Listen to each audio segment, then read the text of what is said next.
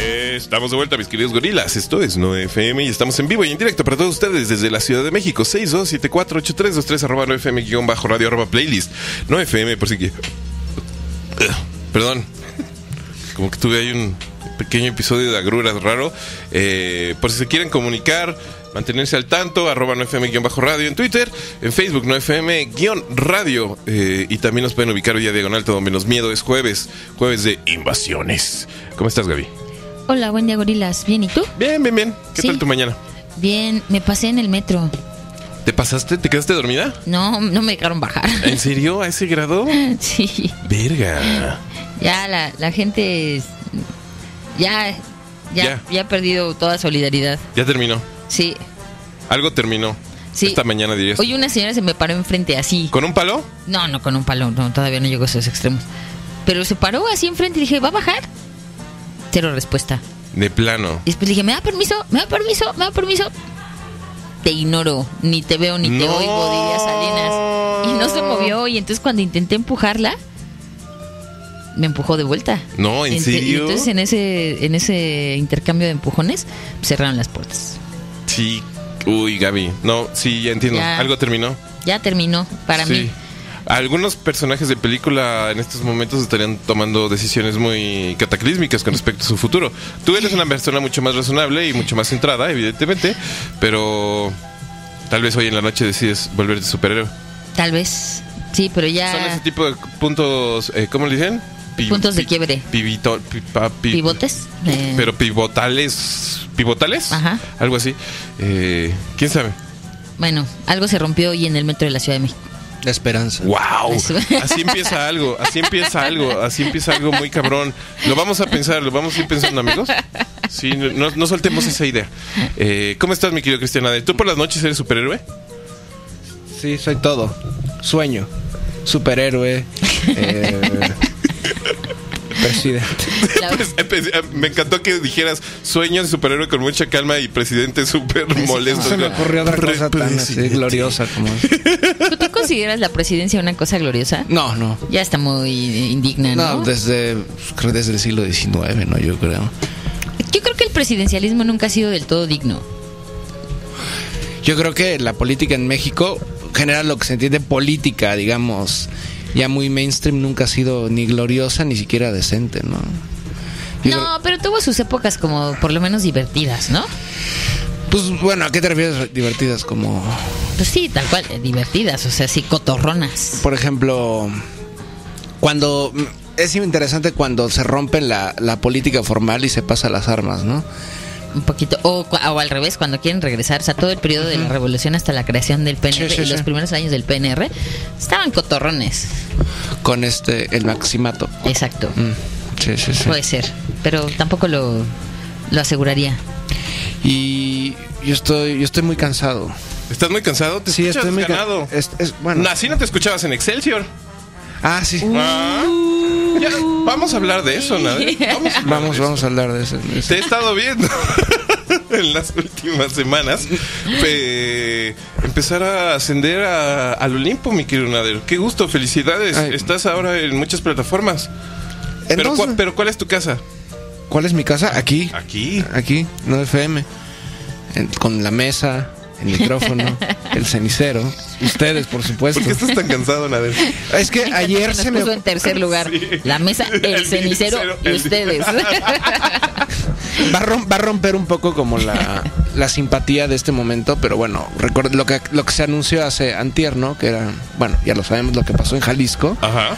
Se me ocurrió decir ayer que cómo era posible en un arranque, bueno, no, ni siquiera en un arranque, cómo era posible que después de menos de 24 horas que se había anunciado esto, que por más que se haya anunciado no sabemos qué, tanto es verdad y qué tanto es mentira, ¿no?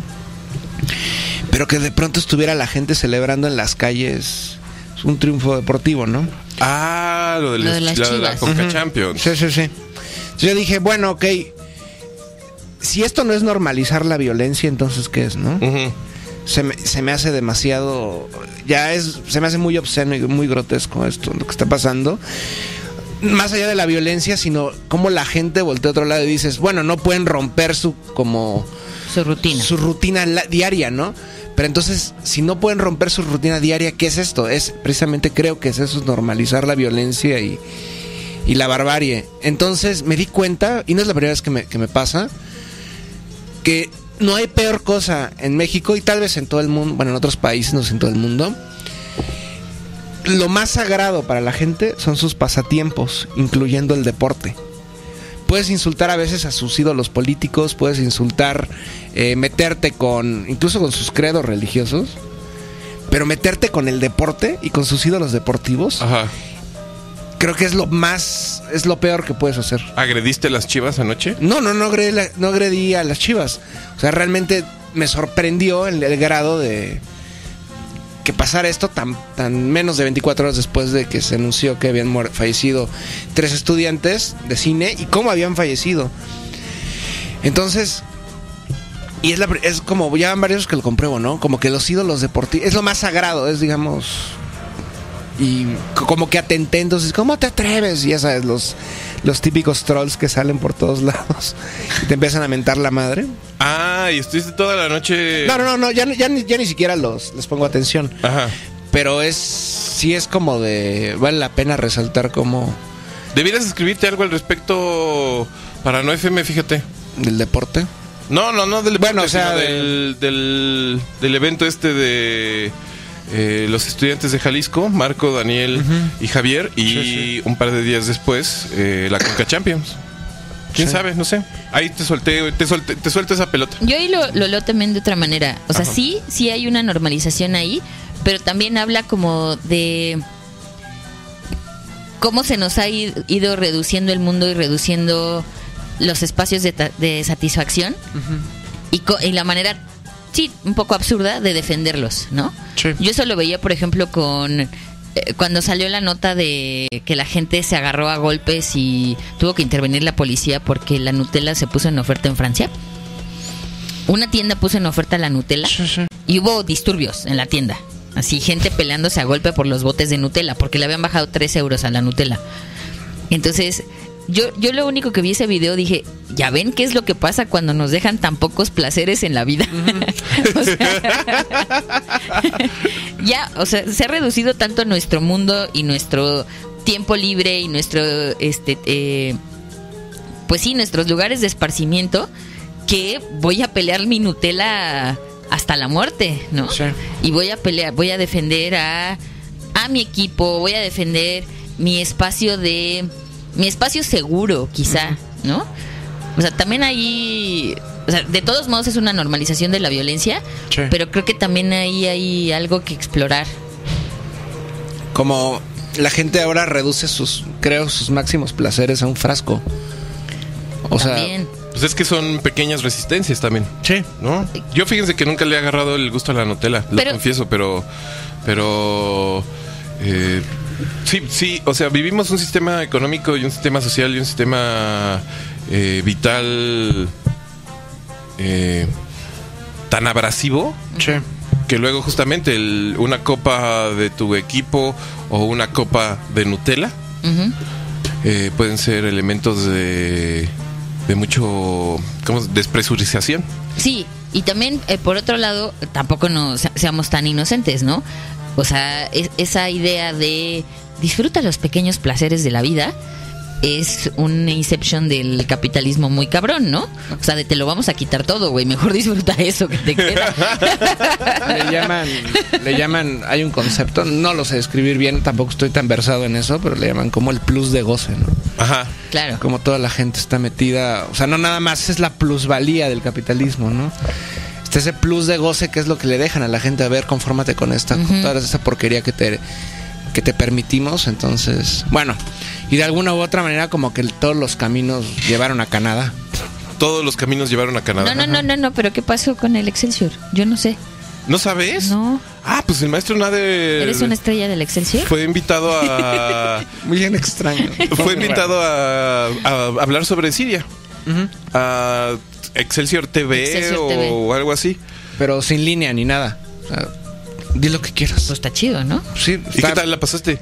Muy bien. Digo, es ¿Cómo te contactaron o qué? no, me contactaron primero cuando fue el... Me habían contactado hace unas semanas, Ujú. pero por X o Y no se hizo nada. Entonces cuando fue el bombardeo hace dos semanas, Ajá. El viernes justo, me dijeron que me iban a entrevistar, pero creo que cuando me tocaba a mí entró James Mattis en la Casa Blanca. Ajá. en las oficinas de, de la, Secretaría de Defensa de Estados Unidos, entonces ya no entré. Ajá. Y de pronto me hablaron la, la siguiente semana y me dijeron, pues, ¿quieres venir a Excelsior? Y yo, "Pues, claro, sí. Y ya, participé, creo que seis minutos, cinco minutos. Pero fue interesante, vaya, creo que nadie había dicho lo que dije. en Excelsior. Si es que, no, no nada más en Excelsior, creo que en los grandes medios Ajá. por lo menos en las televisoras, creo que nadie había dicho esto. Entonces, creo que fue importante. Y luego, una semana después, me invitaron a Hispan TV también. Ah, sí, después vi que estabas en otro lado. ¿En dónde estabas? En Hispan TV, la, la televisora iraní, Ah. en español, donde están estos de Fort Apache. Y Sí, sí, sí. También fue interesante, ahí fue un programa que se llama Detrás de la Razón. Mm. Y también se habló de Siria y todo eso. Oh, Estuvo bueno. Eres una estrella, Nader. Una estrella. Poco así. Una estrella a punto de colapsar en una supernova y destruir el Me universo. Me encantó tu tono de pedido de ayuda. Eh, sí, soy una estrella. pues, eh, pues para bienes. Eh, parabienes para ti, mi querido Muchas gracias. eh, Nader. Felicidades Gracias. por tu nuevo, por tu nueva farándula. Gracias. ¿Se podría conciliar ¿La gente ya te reconoce en la calle? No, nunca me... Bueno, una vez un, un- una persona... No, dos o tres personas que me han seguido en Twitter Ajá. me reconocieron, pero hola y adiós, pero tampoco no. No es celebridad, ¿no? Realmente una persona que habla de, sobre asuntos geopolíticos o históricos puede ser considerada celebridad, no sé. Yo creo que sí, yo ¿Sí? creo que ya estamos en ese momento en nuestra ¿Qué en onda? la historia. Onda Taibo y... No, no, aguanta. No, no, no, o sea, no me estoy comparando, pero digo, eso ya sería como lo más excelso en esos aspectos, ¿no? Taibo y la, su antítesis podría ser, no sé, Enrique Krause, ¿no? No, pues, No, pues yo estoy pensando en algo así como Noam Chomsky. Ah, Chomsky. eh, en un Zizek. Eh, no sé, Nader. Te veo por ahí. Yo tengo una versión a, a este... ¿A Zizek? Sí, sí, sí, muy cabrón. Bueno, ahí está, ahí está tu antítesis. No lo tolero. Se me hace... Tiene un, trae un discurso, más allá de su discurso, que hay cosas que no, no comparto con él. No sé, ese- esa celebridad como sucia y viciosa que se exhibe en las televisoras, no sé, no me, no me agrada mucho, pero bueno, es respetable, ¿no? Cada quien, cada quien. La- el máximo símbolo de Eslovenia, por El- cierto. Sí. No hay nadie más importante en Eslovenia que ¿Qué Zizek. conoces más de Eslovenia? No, no sé, la verdad. No soy la mejor persona para responder eso. No hay nada de Eslovenia. Cuando, ahora que vino Noam Chomsky, yo le quería hacer una pregunta, Ajá. que es, ¿de qué no daría su opinión? ¡Qué gran pregunta! ¿Sobre qué tema no opinaría? ¡Wow! Gabriela, deberías entrevistar a Chomsky. ¿Sí? Sí. Imagínate, le voy a hacer esa pregunta y 14 horas después. No, no, pues sabes, es que una persona inteligente, Agotados. como forzosamente tenemos que reconocer que es Noam. Chomsky, Sí. le parecería hilarante esa pregunta. O sea, no creo que esté ya en edad de ofenderse. El señor. Creo que más bien, justamente, se forzaría a sí mismo de dar su opinión al respecto de, De- en qué no daría, daría su de qué es su opinión. opinión. Y creo que saldrían cosas interesantísimas para comenzar una plática. Sí, Eres muy grande, Gaby. gracias. Eres muy grande. La- La historia lo reconocerá en algún momento. Bueno, Ya verás. Esperemos que no. No, ¿cómo no, Gaby? Yo me voy a encargar, vas a ver. Bueno. En fin, señoras y señores, hoy es jueves de invasiones aquí en su 9FM de confianza. Hablaremos de el lado oscuro del Canadá, De la aldea. de la aldea. Ese es el nombre de Canadá. En, Ok. iro- en iroqués. Ok, vamos a ir eh, entrando a eso. Yo no sé demasiado de Canadá. Conozco Canadá, fui hace muchos, muchos años. Eh, conozco músicos canadienses, conozco escritores canadienses, conozco artistas canadienses, conozco eh, Cine músicos, canadiense. cine canadiense, pero así como de su historia, pues sé, sé poquillo. Sé poquillo, sé pues algunas tropelías espantosas que eh, cometieron contra los pueblos originarios De eso hablaremos. de la zona canadiense, pero estoy muy emocionado porque la verdad es como uno de esos, eh, una de esas extrañas interrogantes de las grandes potencias del mundo. Genocidio y Brian Adams. Ahí es. Ecocidio y Brian Adams. Brian Adams. Ecocidios, genocidios y Brian Adams esta mañana, aquí en su jueves de invasiones con su 9FM de confianza. Regresamos, estamos con el señor Cristian Nader, no se vaya a ningún lado, esto es 9FM, todo menos miedo. estamos de vuelta, mis queridos gorilas. Encontramos una versión medio piterona de del himno. ¿Es el himno? Sí, es el himno, Sí, ¿no? sí, sí. O Canadá. O Canadá. Ahí está. Bueno, señores y señores, como se los anunciamos hace ya un par de semanas, unas tres, hasta donde tengo más o menos entendido, hoy, y no sé si va a dar para muchas más sesiones, tenemos ahí pendiente también la historia de eh, China. Híjole, pero que para va a ser una saga Ah, parece que tomar a la altura ¿no? del Señor de los Anillos. Para eso voy a leer el Tao antes. Eh, hoy le vamos a entrar al lado oscuro del Canadá. Se dice Canadá, del Canadá, el Canadá. No, ¿No? en español es, ah, es Canadá nada más. ¿En serio? El Canadá, la Argentina y demás son galicismos. Vienen del francés. Ah, siempre había pensado que yo lo tenía todo correcto. El Canadá. El No. México. Pero bueno, ahí está el subtítulo perfecto que encontramos gracias al señor Christian Nader. Ecocidios, genocidios y Brian Adams. Para el mundo. ¿Listo? ¿Y por dónde quieres comenzar, mi querido amigo? Eh, justo quería hablar. ¿Qué se conoce de Canadá? Es raro, ¿no? Como que la gente no conoce mucho, más allá de como.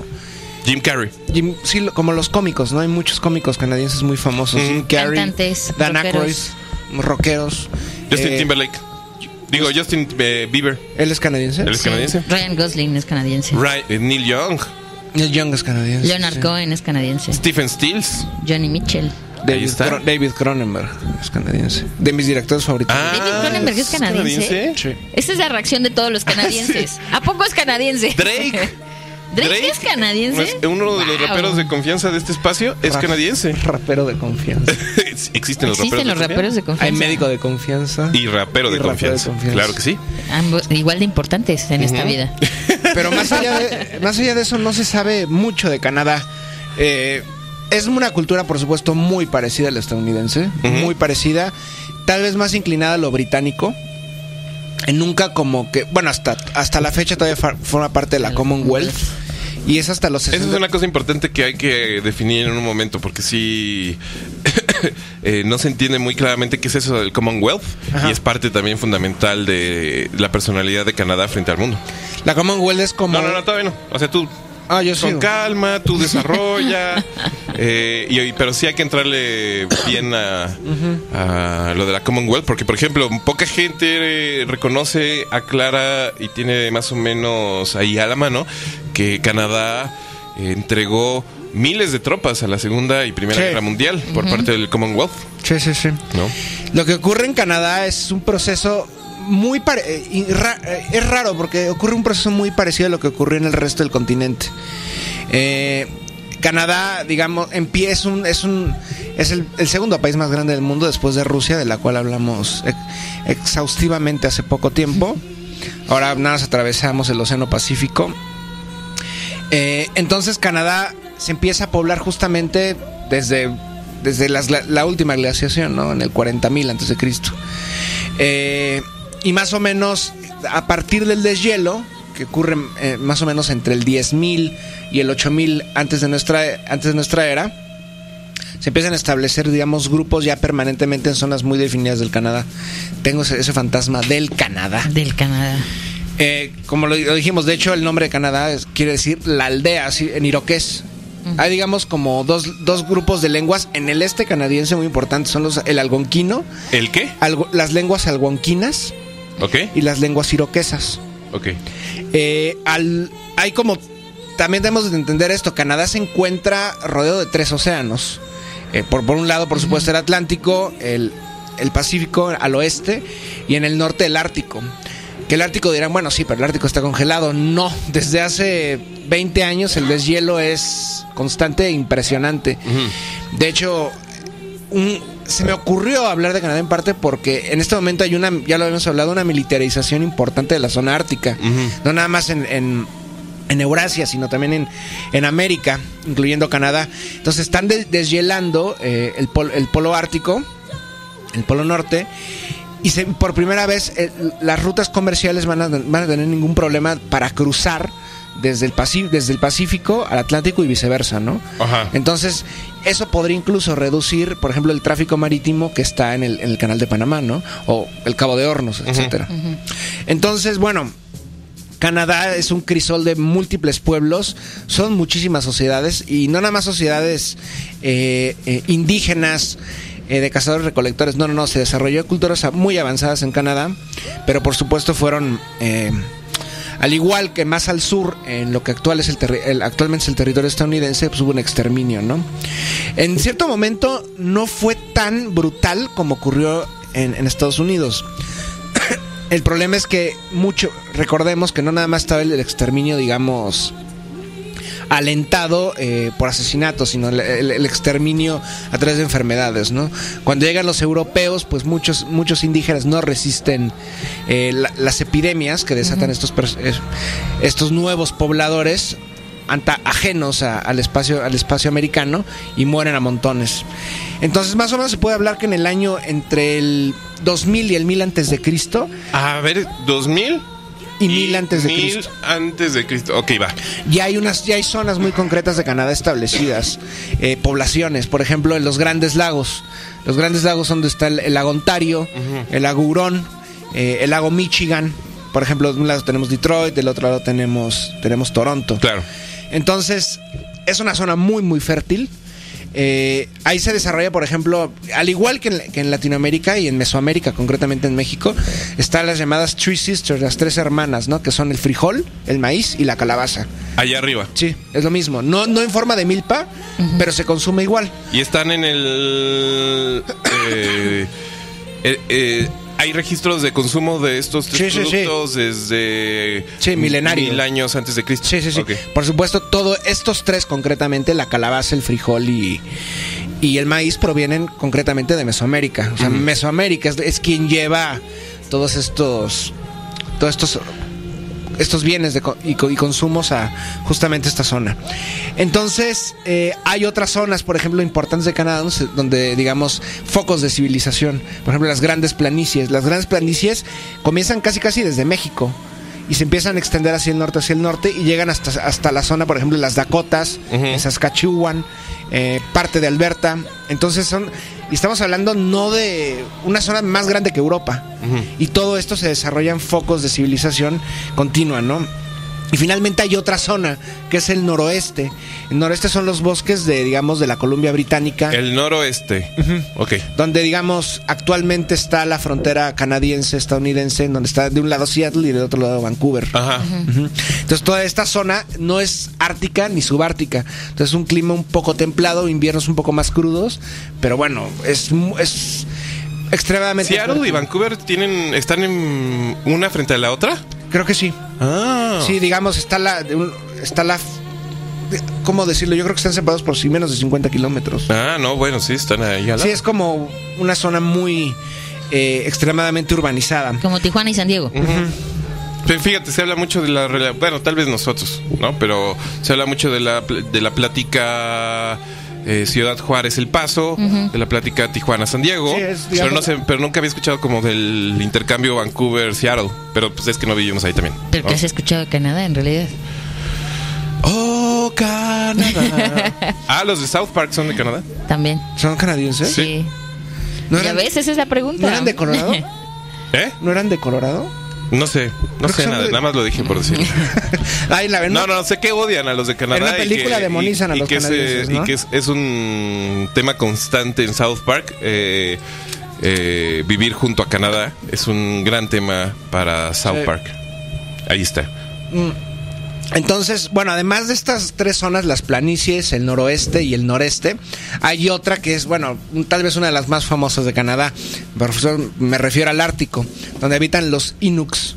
¿Saben quiénes son? Los Inuit, digamos, los esquimales. Eh, los Inuit tienen ahí por eh, más o menos a partir del año 1000. eh, que ya es un poco tardío, o sea, tienen apenas mil, bueno, apenas entre comillas mil años, ¿no? Antes habitaban ahí los Tunu- Tunuit. Los Tunuit son como la, la sería algo así como la, la primera gente, Ajá. los primeros pueblos. Eh, de hecho, los, los Inuit, los esquimales, los consideran como casi seres mitológicos. eran, dicen que eran más altos, casi gigantes para ellos. Recordemos que no son tan altos los esquimales, son muy chaparros, bueno, no chaparrones, pero son más pequeños de estatura. Entonces, esto concretamente, los tu- Tunuit son como la, eh, se le llaman la cultura de Dorset.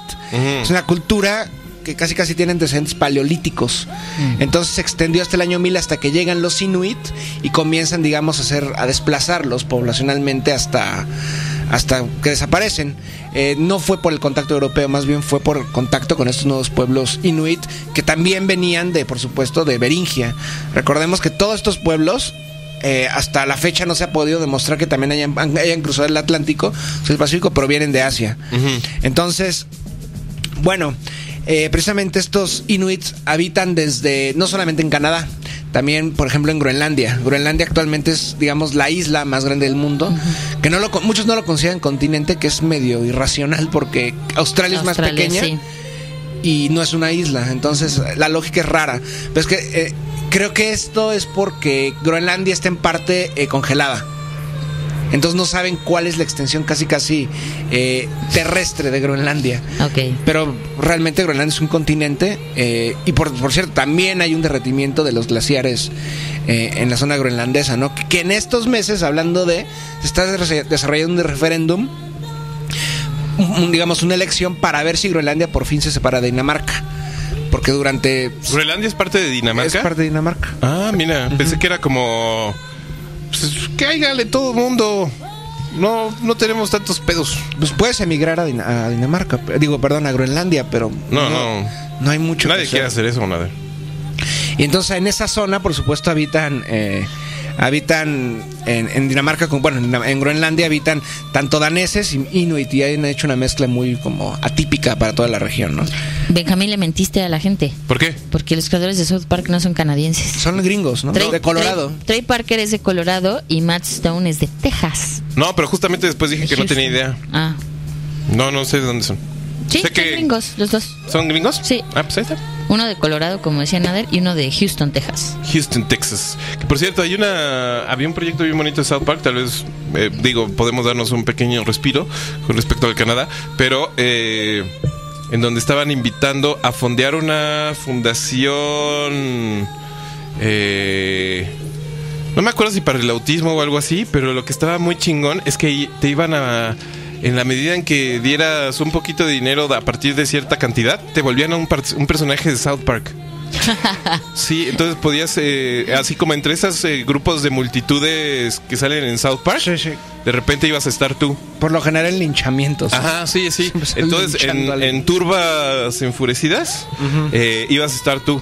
Está padrísimo, ¿no? Qué, bonita idea. Había una aplicación, ¿no? Que te hacía dibujito de. Ajá, de exacto. En, esa, Ajá. como en esa dinámica, y ya tú ibas a estar y te ibas a poder reconocer en los capítulos de las siguientes temporadas de South Park. Qué bonitos son esos güeyes y qué asquerosos también. Pero entonces, mi querido amigo, estamos hablando de un territorio amplísimo, estamos Sí. hablando de una historia también riquísima y estamos hablando de una zona que tiene presencia humana pues, Pues, milenaria. De hecho, por ahí entra el flujo Sí. eh, humano en un principio, ¿no? Sí, pero es raro porque cuando entran los primeros seres humanos al continente americano, que ya cada vez, a- cada vez las, las fechas se- son más antiguas. Primero se decía que fue hace 15 mil años, luego 40 mil, ahorita ya estamos a casi casi 60 mil años. O sea, el poblamiento de América es antiquísimo. Eh, ellos no se quedan en Canadá. El poblamiento de Canadá y que se establezcan es mucho más tardío. ¿Por qué? Porque precisamente las condiciones no eran como óptimas. Y recordemos que toda la gente que entra lo hacen eh, buscando, siguiendo presas, ¿no? Eh, mamuts, por ejemplo, y bisontes. Entonces lo que hacen es seguir hacia el sur, concretamente hasta Mesoamérica y más adelante hasta, hasta lo que va a ser Andinoamérica. Y no se quedan en Canadá, eso es como posterior. Ya cuando, digamos, el clima se, se normaliza, cuando deja de ser tan frío, porque realmente en esa parte de la glaciación la gente no puede vivir en Canadá, porque los hielos llegan casi casi hasta pues, las grandes planicies, ¿no? Están, era, era un clima muy, eh, muy, muy frío Poco amable. poco amable. Entonces, bueno, esta es la, la continuidad durante los... de- desde épocas precristianas de miles y miles de años hasta más o menos el año 1000 de nuestra era. Porque en el 1000 de nuestra era ocurre un fenómeno atípico y raro. Y a pesar de todo lo que estoy diciendo, la historia canadiense es, incluso en el mismo Canadá, está muy mal estudiada. O sea, para los, cana- para los canadienses, Canadá es a partir de la llegada de los, de los franceses y los ingleses. Nada más. A Pero- partir de ahí se considera el inicio de la historia tal cual de Canadá. Sí, digamos, siempre han sido como, eh, no desprestigiados, pero sí eh, como... eh, no los toman mucho en cuenta porque no son como civilizaciones tan impresionantes, por ejemplo, materialmente, como podrían ser las mesoamericanas o las andinoamericanas. Pero sin, sin embargo, hay, hay- es importante todo lo que ocurre en Canadá y, por ejemplo, la magnificencia, si lo queremos llamar así, de, su cultura material es importante. Vean ustedes en el oeste, los tótems, por ejemplo, ¿no? Pues es algo, mm, me parece increíble, pero vaya, más allá de eso, no se han estudiado todos los pueblos canadienses. Entonces, en el año 1000, más o menos, en el finales del siglo IX, en el siglo X, llega llegan grupos que nunca habían, digamos, entrar en la, en la dinámica del futuro territorio canadiense. Me refiero concretamente a los, a los escandinavos. Los escandinavos. Eh, un hombre llamado Leif Erikson, que es hijo de Eric el Rojo. Ah, eh, claro. Danés. Sí. Eh, primero llegan y colonizan Islandia. Y de Islandia, por. Obviamente no, no hay como como una cronología y una histo- historicidad sobre estos hechos, pero más o menos en el año 1000, 1050 eh, llegan a territorio americano, concretamente a la, zona- a la zona de Terranova, eh, Newfoundland. Y ahí, y a otra zona que se llama Vinlandia. No, no es cierto. Serio se llama Vinlandia. Finlandia. Por tierra, digamos, eh, decían que había tierra como de uvas, ¿no? Ajá. Entonces, se establecen ahí y más o menos las colonias duran, se calcula que entre 200 y 300 años, pero está tan lejos, de por sí Islandia ya estaba lejos de, digamos, del epicentro normando, vikingo, ¿no? Y todavía Canadá está, digo, son distancias astronómicas para esa época, no es como ir de, de la Tierra a la Luna. Básicamente. Entonces, pues no son como muy eh, redituables las colonias. Sin embargo, ahí están los restos y sí es, es un hito en la historia del continente americano porque los primeros europeos que llegan al territorio al territorio americano pues no son los no son los digamos españoles ni los castellanos, ¿no? No, no, no. Eh, Son precisamente los hasta que no- probablemente Ahorita, como en qué año estamos, mi querido? estamos en el siglo décimo, noveno décimo. Después de Cristo. Sí, sí, sí. Ahí O sea, está. hace mil años. Eh, primeros momentos en donde eh, piel europea empieza a tocar eh, el continente. Y hay contacto entre, entre pueblos indígenas y, y- y vikingos. Y al parecer las relaciones no fueron muy como muy, muy estables. Es que los vikingos no eran muy, eran medio ásperos, ¿no? Sí. Medio, pues no eran casi como los mejores invitados, ¿no? A tu mesa. No, y al mismo tiempo, eh, recordemos que muchos de ellos todavía eran paganos. O sea, no, no- no eran todavía eh, eh, escandinavos cristianizados. No Ujú. estaban como en el límite entre la paganización y el paganismo y la, y la cristiandad, ¿no? Entonces, sí hay un choque medio raro. De hecho, primera recomendación cinematográfica. Maestro. qué Eh, bueno. Valhalla Rising, no sé si la han visto. Sí, cómo no. Con este, creo que se llama Matt Mikkelsen. Sí, es buenísima y rarísima. Del este director danés que dirigió una que se llama Bronson. Sí, sí, sí.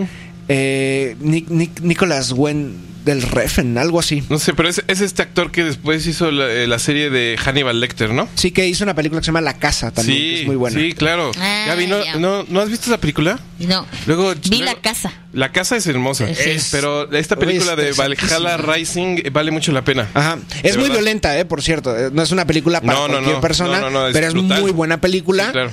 Épica y con un presupuesto no tan amplio, pero justamente se explica cómo eh, los normandos que tienen, digamos, bueno, no, me refiero a vikingos que tienen sus bases en, en, en el norte de la isla británica, en Escocia concretamente, inician una exploración hacia, hacia el otro lado del Atlántico y se encuentran con grupos eh, indígenas.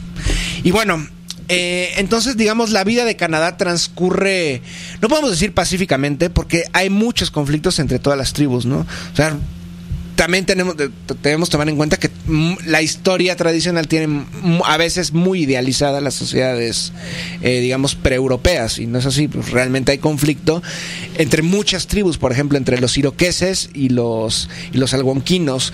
Por ejemplo, los Mohawk son unos de ellos, ¿no? Y luego los Mohawk hasta la fecha le siguen dando guerra al gobierno canadiense, ¿no?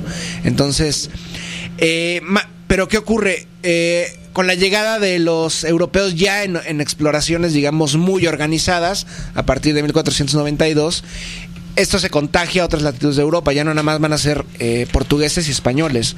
Van a ser también franceses, van a ser holandeses, van a ser ingleses.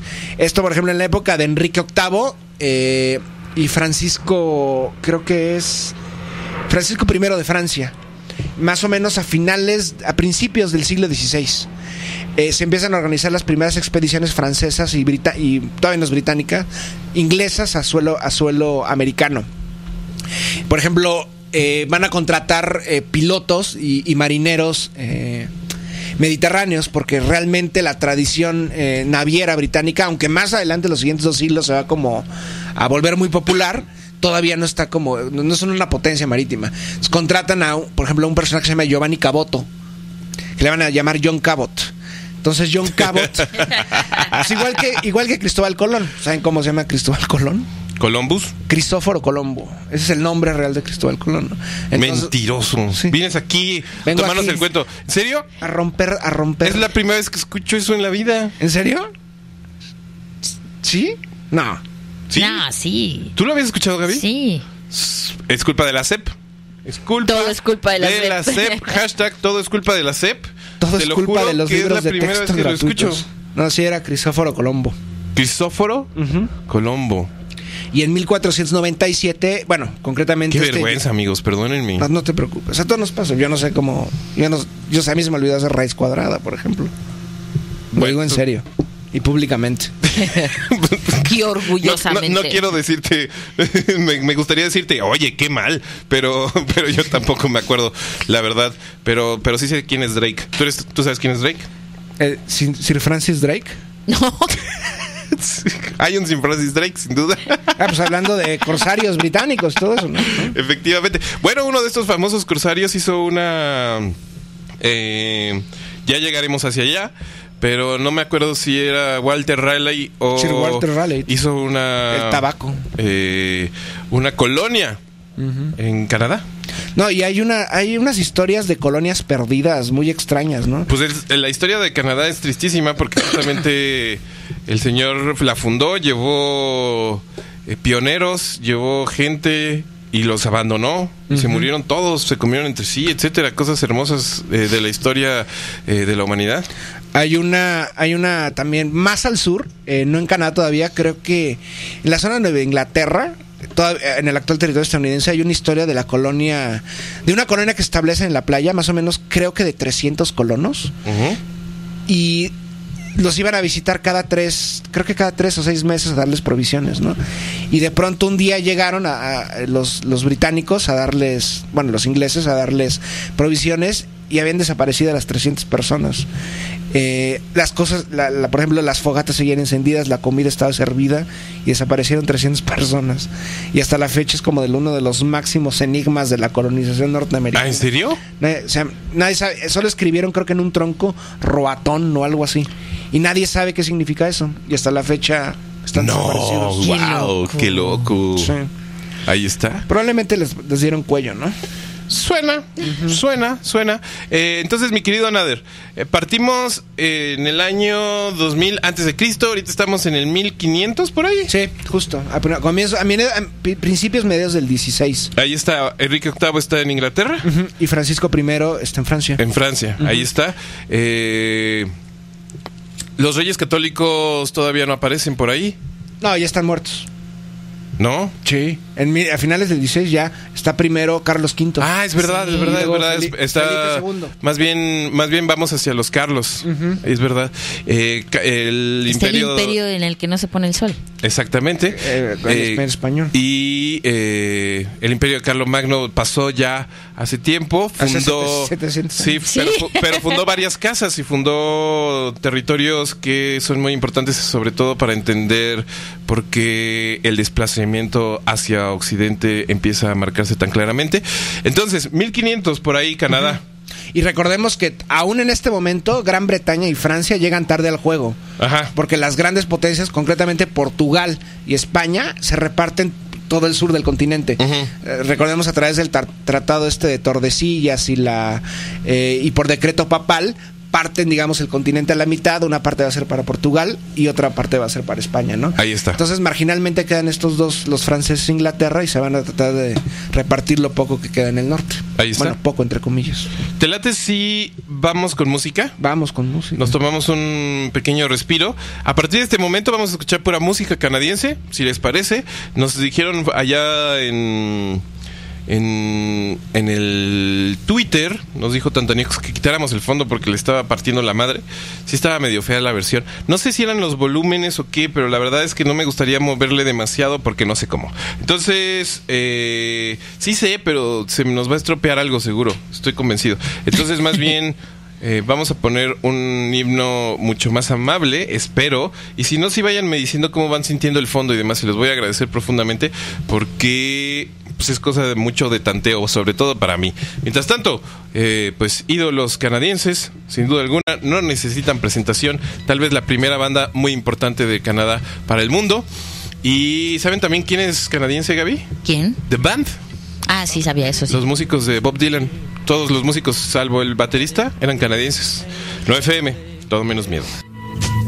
Eh, estamos de vuelta, mis queridos gorilas. Esto es No FM. Estamos en vivo y en directo para todos ustedes desde la Ciudad de México. Estamos en Invasiones con el señor Cristian Nader y estamos visitando el lado oscuro del Canadá.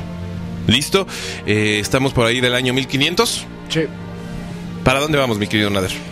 Pues, ay, se nos olvida el máximo símbolo musical de Canadá. ¿Quién es? ¿Brian Adams? No. ¿Quién? Alguien que llegó- yo llegué al punto de alucinarla. Así ya no la soportaba. Ah, ¿quién podría ser? Celine Dion. Sí. Celine Dion es Ah, canadiense. es Bueno, Sí. franco-canadiense, porque ya ven que los Sí, sí, franco-canadienses sí. Ah, es lo peor que no- nos pudo haber pasado. Celine Dion. Celine ¿tú Dion. crees? Híjole. ¿Quieres que no te cante sé. la del Titanic, No, Nader? My heart will Podrías, go on podrías irla cantando mientras yo abrazo a Nader eh, por la espalda y, y, y él extiende sus brazos y grita: Sí. ¡Soy el rey del mundo! No, tú tendrías que gritar soy el rey del mundo. ¿Por qué? No, yo quiero ver a Nader Ah, gritar bueno, eso. ok. Más bien quiero darme el gusto de abrazarlo por la espalda. Aparentemente. Eso es, eh, tenemos que llegar a esa conclusión. Si tú saltas, yo salto. Exacto. Cristian, si tú saltas, yo salto. Los dos cabían en la tabla sin problemas. Sin problema.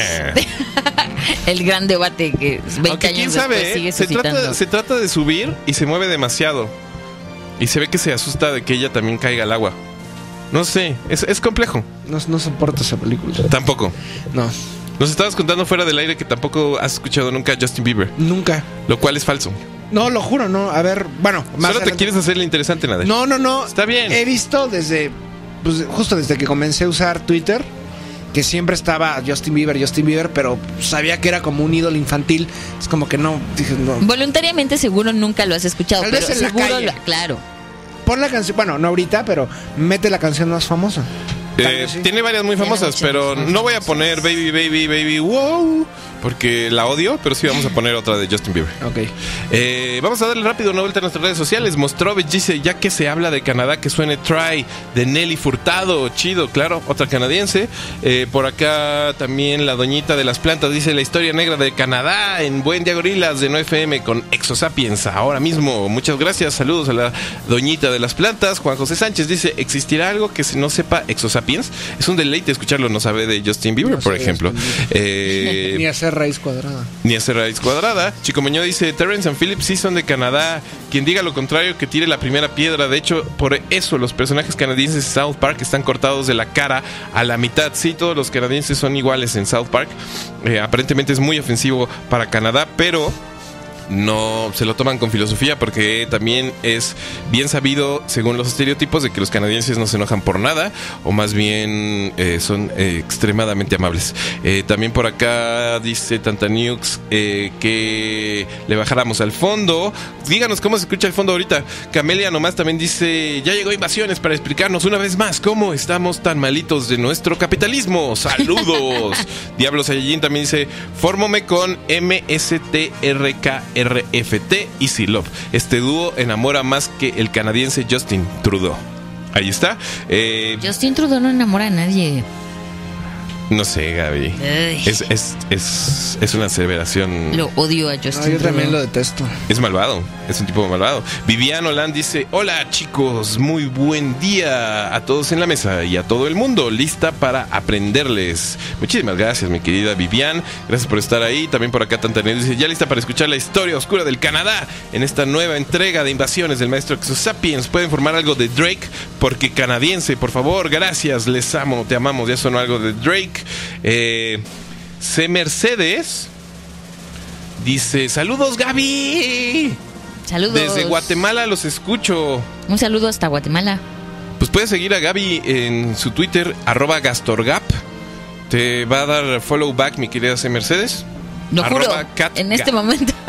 Es que si la sigues. Eh, Mostrovich dice, si veo al maestro Exosapiens, sí le pido que me filme una cheche. ¿Qué es una cheche? Una chichi. ah, uh. Eh, Mariana Villegas también dice por acá, vaya, vaya. Ahí está. Eh, por acá también Eliu Madera dice, escuchando al profe Exosapiens en Buen Día Gorilas, toca ahora. TuneIn Radio, exactamente, pueden escucharnos por TuneIn. Eh, es una aplicación muy bonita para su celular. Se escucha muy claramente. TuneIn Radio. Y estamos ahí. Todos los días. C. Mercedes también dice, todo menos miedo, ya los andaba extrañando, carajo, jajaja, saludos a Claudio. C. Mercedes, ¿por qué parece que nos conoces muy bien? ¿De qué se trata? Tal vez sí nos conoce muy bien. ¿Quién eres? Platícanos un poco. Mostrovich también dice por acá, buen día gorilas, ya listo para invasiones con el maestro semidios nórdico con rizos perfectos, Exosapiens. Gracias, pero no tengo, Guau. no tengo nada de nórdico. ¿Cómo? O sea, lo más nórdico que tengo es de Narvarte. Lo más nórdico, a donde más al norte llego. Así, si, te- si alguien te ve en la calle, sí, sí, sí puede decir ese güey es eh, danés, ¿no? Sí, no. ¿No? No. ¿Por qué no? Porque mi melanina es más oscura, más pigmentada, los, no, y tengo sentimientos. Pero es- acuérdate que... y tengo- va, ahí la dejamos. en fin, señoras y señores. Genocidios, ecocidios y Brian Adams esta mañana aquí en su 9FM de confianza. ¿Por dónde empezamos, maestro? Eh, pues justo, vamos, imaginen la historia eh, de lo que se va a convertir en Canadá. Es muy, bueno, no muy parecida, pero es algo similar a lo que ocurrió en Sudamérica, ¿no? Que se disputaban portugueses y, y españoles la, todo el continente, ¿no? Bueno, en, Can- en- en el norte del continente pasó algo parecido. Eh, ya habíamos hablado de este eh, Giovanni Caboto. Luego los, los ingleses ya con eh, Isabel I y, Jacobo I van a contratar, por ejemplo, a un personaje que se llama Joao Fernández de Labrador. Joao Fernández. Fernández, de Por Labrador. supuesto es portugués. Ajá. Los marinos más famosos serán portugueses junto con los los españoles en menor grado. De hecho, los españoles no fueron grandes marineros. Eran por lo general portugueses o italianos, principalmente genoveses, ¿no? Entonces hacen de los servicios de este personaje y llegan a la tierra firme canadiense, ¿no? Eh, concretamente, por eso la, eh, la península Labrador se va a llamar Labrador, por este personaje, eh, que va a llegar a Terranova, y a la zona donde llegan los ingleses se le va a llamar el Alta Canadá. A donde llegan los franceses se le va a llamar la Baja Canadá. Ok. Ajá. Eh, ¿Esto es a partir de como de qué año? mediados del siglo XVI. Ok, perfecto. Por ejemplo, en 1547 más o menos va a llegar un personaje que se llama, eh, eh, yo, se apellida Cartier. Cartier. Ajá, como los, como los productos, joyas. las joyas y productos de lujo. Jacques Cartier. Él va a llegar a la zona de Quebec y a la zona del río San Lorenzo. Ujú. Ahí se va a fundar, digamos, la famosa Ville de Quebec, que es una ciudad que, bueno, parece que es parte de Europa, pero realmente está en el continente americano, ¿no? Es una de las pocas ciudades eh, norteamericanas que es de esta índole. Entonces, eh, van a empezar a, a bajar los dos, los franceses a subir y los ingleses a bajar. Y va a llegar el punto en que van a chocar.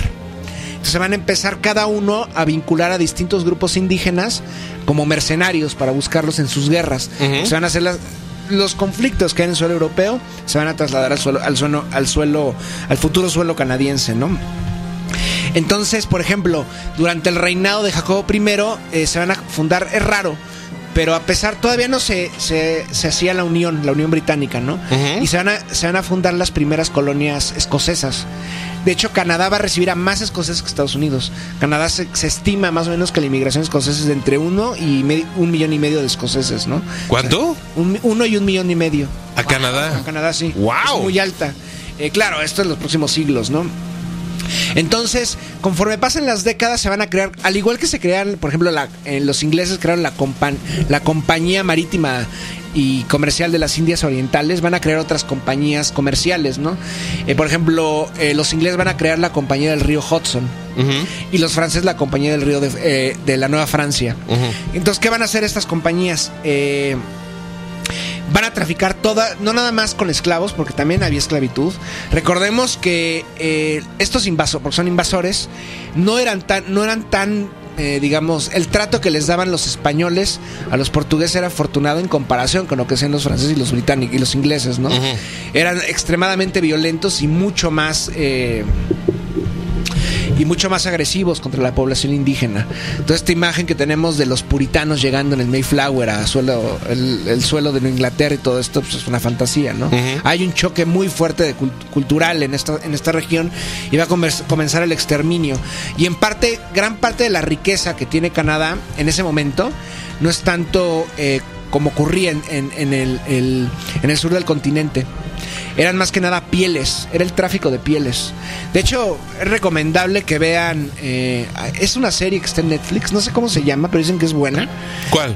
eh, que sale este personaje que salía en Game of Thrones, ¿cómo se llama? El Ah, Jason Momoa. el, el, el esposo de Khaleesi, ¿no? Sí. Ajá, Khal Drogo. Este, este ah, Jason sí, Momoa. Badlands. Sí, que es justamente todo el tráfico de pieles. Ajá, claro. Eh, no, creo que es en la frontera entre Canadá y el actual territorio estadounidense. Entonces, durante siglos, las pieles eran mm, importantísimas. Por ejemplo, en la zona de. En, la- en el este del Canadá, concretamente, eran pieles de hurón. Eh, de estos pequeños mamíferos todos bonitos. ¿Cómo pueden matar a un hurón por su piel? Es no, no lo puedo creer, ¿no? pero bueno. Oh. Eh, y de hecho hay una tribu, creo que es algonquina, o Iro- no, sí es algonquina, que se llaman los hurones. Y los, y los y, y generalmente estos grupos van a servir de, de mercenarios, pa- tanto para los ingleses como lo- para los franceses. Y en el oeste del territorio canadiense, por ejemplo, las pieles de nutria van a ser algo también muy importante, ¿no? De hecho, casi los van a dejar al borde de la extinción estos grupos. Sí, y claro. los castores también. Eh, por ejemplo, tenemos esta imagen del personaje este ficticio David Crockett, recordemos. Ah, claro. Con su gorro de... Con su gorro ¿Cuál de- ficticio? Porque hay como seis David Crockett's. Siempre vienes a hacer ese tipo de cosas aquí. O sea, ¿Me vas a decir que no se murió en el, en el Álamo? En el- no, no, pues no. ¿Quién lo interpretaba? John Wayne, ¿no?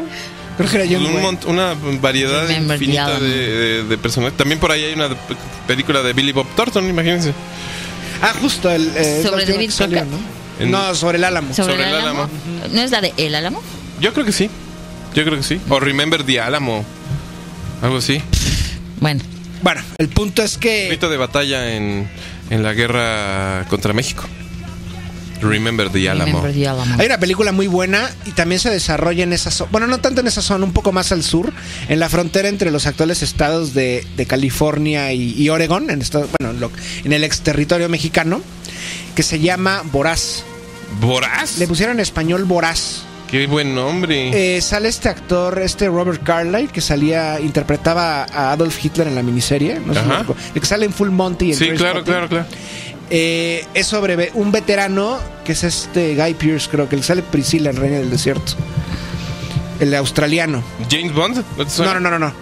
Es un actor australiano que se llama Ok. Guy Pearce. Y es veterano de las guerras México-estadounidenses. Entonces lo manda el ejército estadounidense como a un. eh, como una colonia en la, en la costa del Pacífico.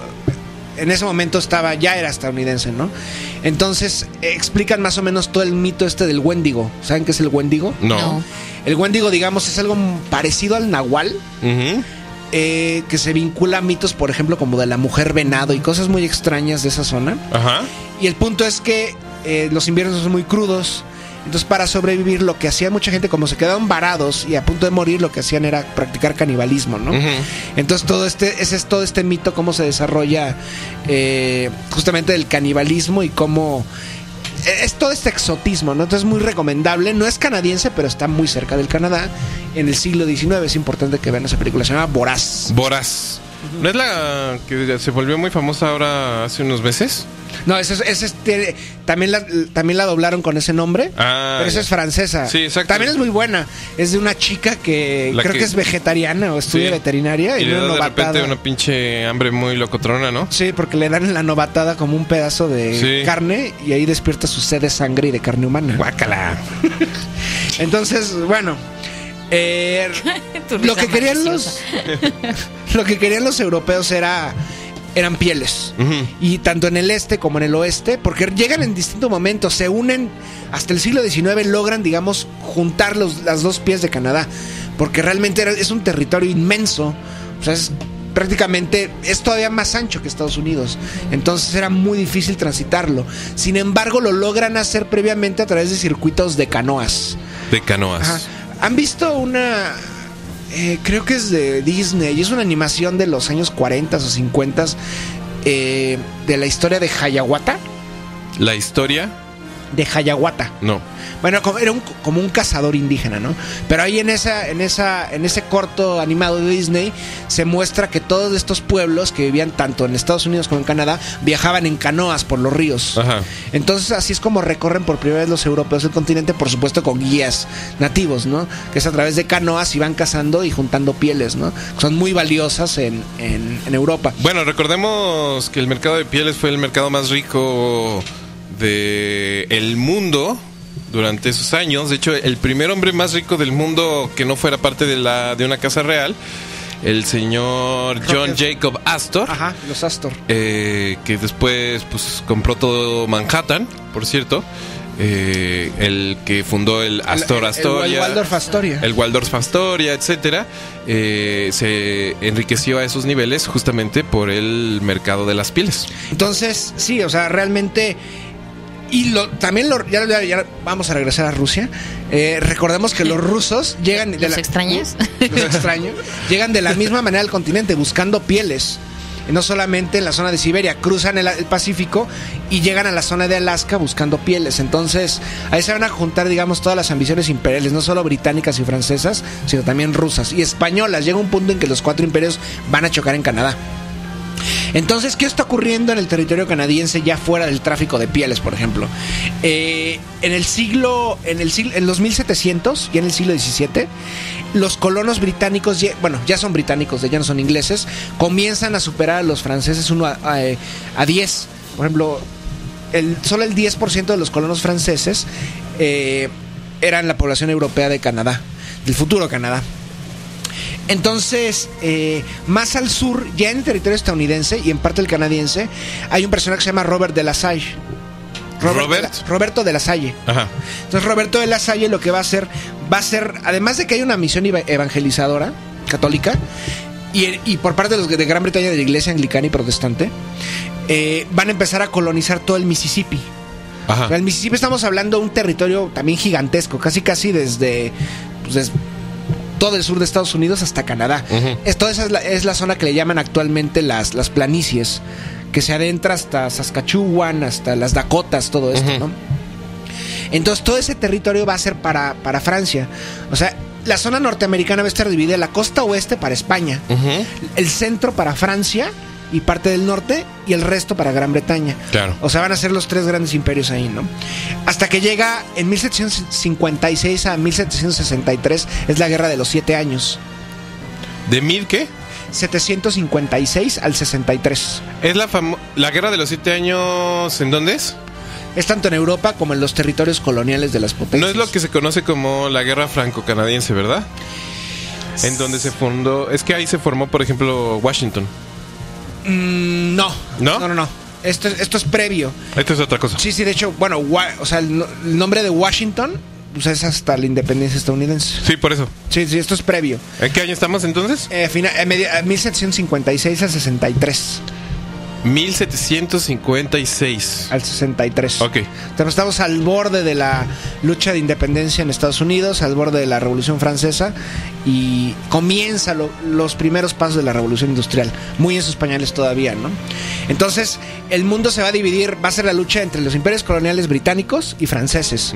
Y por supuesto, un escenario importante va a ser, va a ser Canadá. Entonces va a llegar un punto en que Francia va a perder muchas de sus colores, no van a poder superar al imperio británico, pero los franceses dicen, no, no, ustedes no vamos a dejar que se apropien de nuestro territorio. Porque recordemos que todo esto del Mississippi y la Baja Canadá eran territorios enormes, gigantescos y muy ricos. Entonces, ¿qué ocurre? Uno de los aliados de Francia era España en esta guerra de los siete años.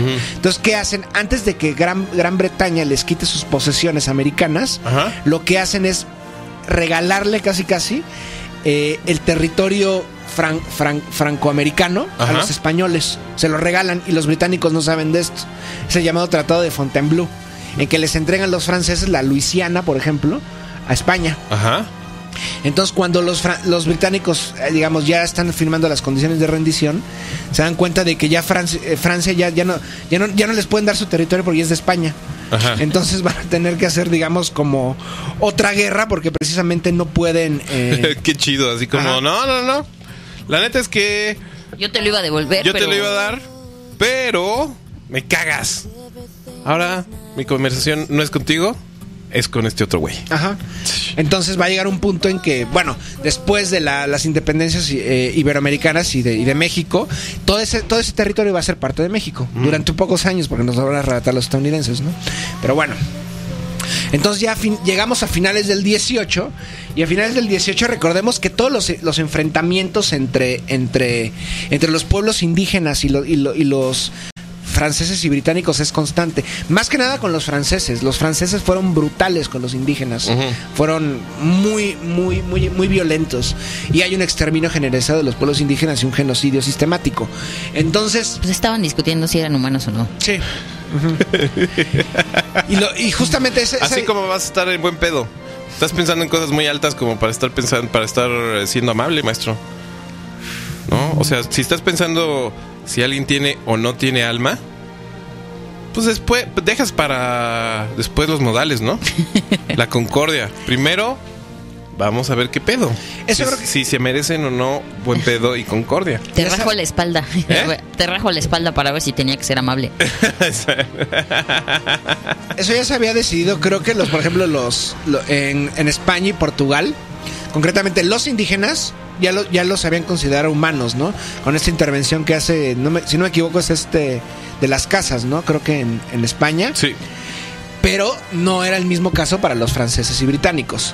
Entonces, tal vez no eran humanos, pero tenían como un, para ellos, eh, tenían un nivel de sub- subhumanidad. Eran como niños. O sea, los veían como niños.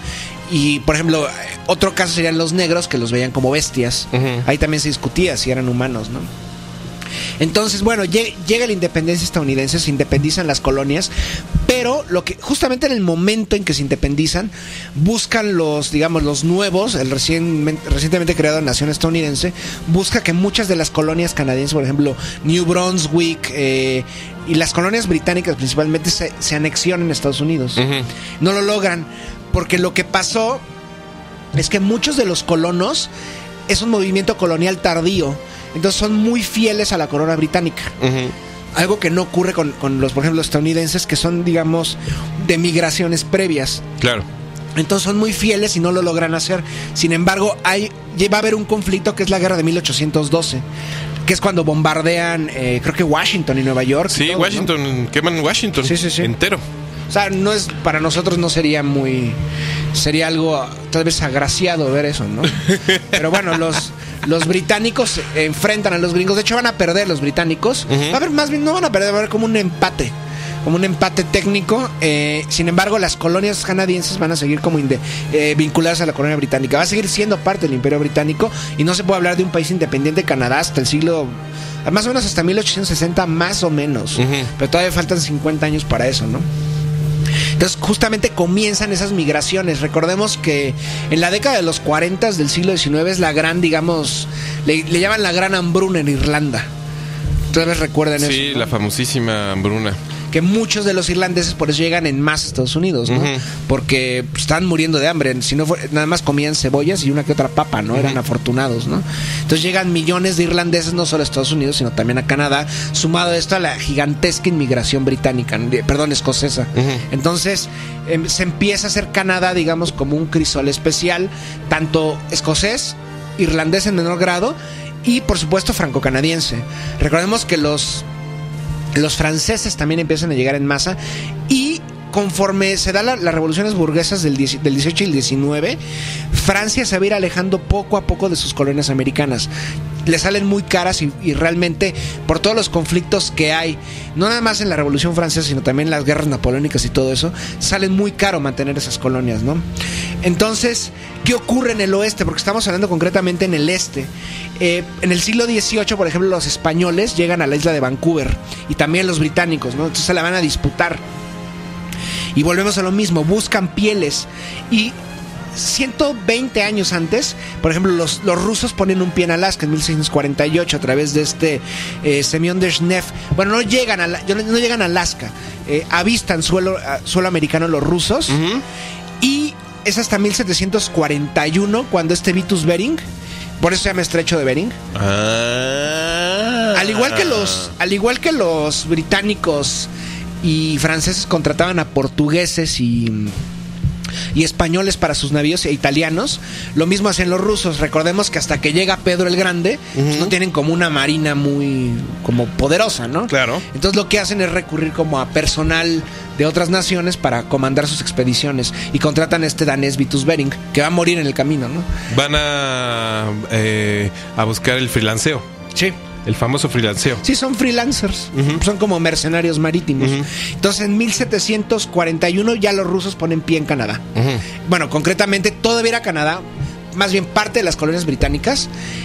En Alaska, recordemos que Alaska se va a hacer la compra en los 60 de, Ujú. del, territorio, del territorio de Alaska, ¿no? Entonces, eh, los rusos van a llegar hasta Fort Ross, por ejemplo. Está muy cerca de San Francisco, del actual San Francisco. Es como creo que ya lo mencionamos en otro programa. En México va a tener frontera con el Imperio Ruso zarista. O sea, es extraño, pero va a ocurrir ese caso, ¿no? Entonces, eh, en 1867, precisamente Estados Unidos, que ya inició su expansión hacia el oeste, Ajá. eh, y recordemos cómo es esa expansión, es una expansión brutal y es terrible, digamos, la, la tragedia para las famosas 500 naciones. Eh, en su expansión va a comprar Alaska. ¿Por qué? Porque se vislumbra un posible conflicto precisamente con el imperio zarista ruso, ¿no? Y Estados Unidos comienza poco a poco a vincularse con Gran Bretaña, empiezan a arreglar sus diferencias. Entonces, digamos, todo ese bloque, ese gran macizo de Norteamérica va a ser para los para los para los de habla inglesa. Entonces, eh, digamos así, así es la historia de Canadá hasta los 60 que se firma una especie de tratado que se va a hacer una especie de confederación, una unión canadiense. Van a ser no un país independiente. Ahí ya está. Ah, ok. Es que no podemos hablar de tal cual un proceso Sí, independentista No, en Canadá. No, no, no hay guerra de independencia. Ah, bueno, tal vez la hay, pero no en Canadá como tal, en Quebec. Ajá. En Quebec y en unas zonas de New Brunswick y todo esto. Ujú. Pero no, hay- no es como en el caso estadounidense ni en el caso latinoamericano. No hay guerra de independencia en Canadá. Ujú. O sea, bueno, y en otros países de Latinoamérica la hubo menor como la violencia que hubo en México, por ejemplo. El punto es que en esa época se firma una especie de como acuerdos con la corona en que Canadá va a ser un no un país independiente, pero un territorio con au- cierta autonomía. Me explico, es como el antecedente más cercano de la Commonwealth. Ajá. Van a poder tomar decisiones, pero por ejemplo van a tener que aportar tropas, van a tener que los negocios van a seguir entre, entre la metrópoli londinense y Canadá. Entonces no se puede hablar de un país independiente. Yo creo que hasta mil, hasta los 60 del si- 100 años después. Entonces sí es, hay que eh, tener, poner atención que Canadá no es en sí un país. Y la idiosincrasia canadiense es algo muy parecido co- con lo que ocurre, por ejemplo, en Australia o lo que ocurre en Nueva Zelanda, ¿no? También parte del Commonwealth. Sí, parte del Commonwealth y Sudáfrica hasta cierto punto. No, no, ah, por ejemplo, en México podemos ver la identidad, digamos, mucho más compleja y lo y La identidad de la gordita, de la gordita. que le podrían llamar, sin duda alguna. O sea, hay tanto una identidad mexicana como un antecedente histórico y un legado de los pueblos mesoamericanos y pueblos originarios, en parte por el mestizaje. Ahorita, eh, perdón, eh, Nader. 19. 19, siglo 19. 19. Ok, Eh, en Canadá y en Estados Unidos no ocurrió esto, o sea, no hay un mestizaje. claro. Tal vez hay, uno- hay, hay- hay unos grupos que llaman, les llaman metis. Los metis son como, digamos, pueblos eh, indígenas, creo que iroqueses y algonquinos, si no me equivoco, que se mezclan con los franceses y británicos. Pero es un son, son grupos muy reducidos, por ejemplo, creo que se hablan, no, no llegan ni al medio millón, los metis. No es como aquí en México que el mestizaje pues, son la mayoría de la población, ¿no? Entonces, ¿qué ocurre? es- son- no son países como nosotros conseguimos justamente a, a- a las naciones latinoamericanas, por ejemplo, ¿no? Entonces se puede hablar que en 1860 va a haber una federación canadiense, pero no es un país. Es, Ok. podría ser como, sí, son colonias todavía. Y, y no son colonias que estén muy desentendidas de, de Inglaterra, pues están conformes. No es el mismo caso de los franceses. Recordemos que en el siglo XVIII ya lo superaban 10 a 1 los ingleses. Se empiezan a verse reducidos y por eso está esta como esta férrea defensa de la entidad franco-canadiense hasta la fecha, ¿no? Sí. Porque recordemos, no sé, no recuerdo cuándo fue el último referéndum, pero estuvieron a punto de ganar y de separarse de, de- de Francia, de- perdón, de, De de- Canadá. Canadá. Entonces sí es una identidad muy distinta y hasta la fecha perdura. Entonces, el punto es que van- llegamos poco a poco al siglo XX y para todas las guerras que hay en el continente europeo y que libra el imperio británico, los canadienses tienen que mandar tropas. Y no estamos hablando de unas pocas, son millones de tropas. Eh, por ejemplo, en la Primera Guerra Mundial los batallones canadienses son muy importantes, ¿no? Y también en la Segunda.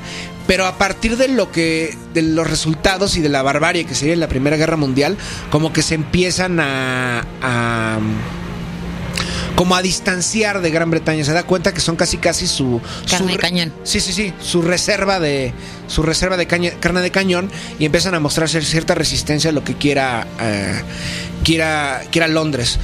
El punto es que también debemos tomar en cuenta las diferencias que hay en Canadá y las diferencias que hay en Europa, ¿no? Canadá es un territorio en- inmenso, entonces se da como lo mismo que ocurre en Estados Unidos cuando se conquista el oeste, ¿no? Es como esta esta idea de como la libertad entre comillas, ¿no?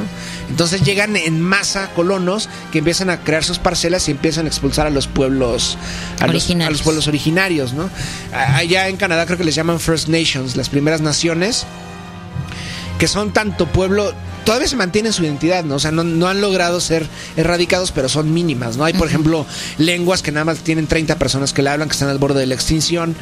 Entonces, por ejemplo, ocurre algo muy tétrico a, eh, a mediados del siglo XIX, que se- están las llamadas escuelas de acogida. Las escuelas de acogida son como internados donde se llevan a todos los niños, además de eh, meterlos en la religión católica, O sea, dependían de, de curas. Sí, de curas, de curas y de monjas. Entonces lo que hacen es van a las aldeas, eh, tanto iroquesas, anglonquinas y también de estos pueblos metis que son mestizos y se roban a los niños. O sea, el gobierno canadiense, bueno, de la- del, del imperio británico, llega a las aldeas canadienses, eh, toma a los niños y se los llevan, se los secuestran para justamente occidentalizarlos Justo se acaban de disculpar, ¿no? Hace Este, un año o dos. Sí, creo que era el primer ministro este Harper, creo que se apellida. ¿No fue ya en el periodo de No, Trudeau? no, no, creo que fue como en el 2008. Ah, ok. Sí, se disculpó públicamente porque por los abusos. Se, se calcula que entre el 6 y el 15% de, la, de los niños que se raptaron murió. Eh, y la mayoría eran víctimas de abuso sexual, de golpizas. Eh, pues los separaban de sus padres. eh, sus padres se oponían a que los occidentalizaran. Entonces estamos hablando de algo pues, muy, muy, muy serio. O sea, son. Se calcula que fueron entre 700 mil y un millón de niños, ¿no? Genocidio, ecocidio y Brian Adams. Y Brian Adams. ¿En qué año estamos ahorita, mi querido? Estamos, seguimos en el 19, ahí comienza en los 70 del 19, comienza este secuestro de niños, ¿no? ¿En el qué? Los años 70 del siglo XIX. En los años 70 del siglo XIX. Pues digamos en la época victoriana en Sí. el suelo europeo, ¿no? Estamos en una nación que sí es independiente, pero no lo es. ¿Cómo podemos dejar clara esta idea? Eh, ¿Cuál es el objetivo, por ejemplo, de que exista el Canadá? Recursos. Recursos. O sea, no hay Pero más. ¿cuál es el objetivo, por ejemplo, para Inglaterra de que...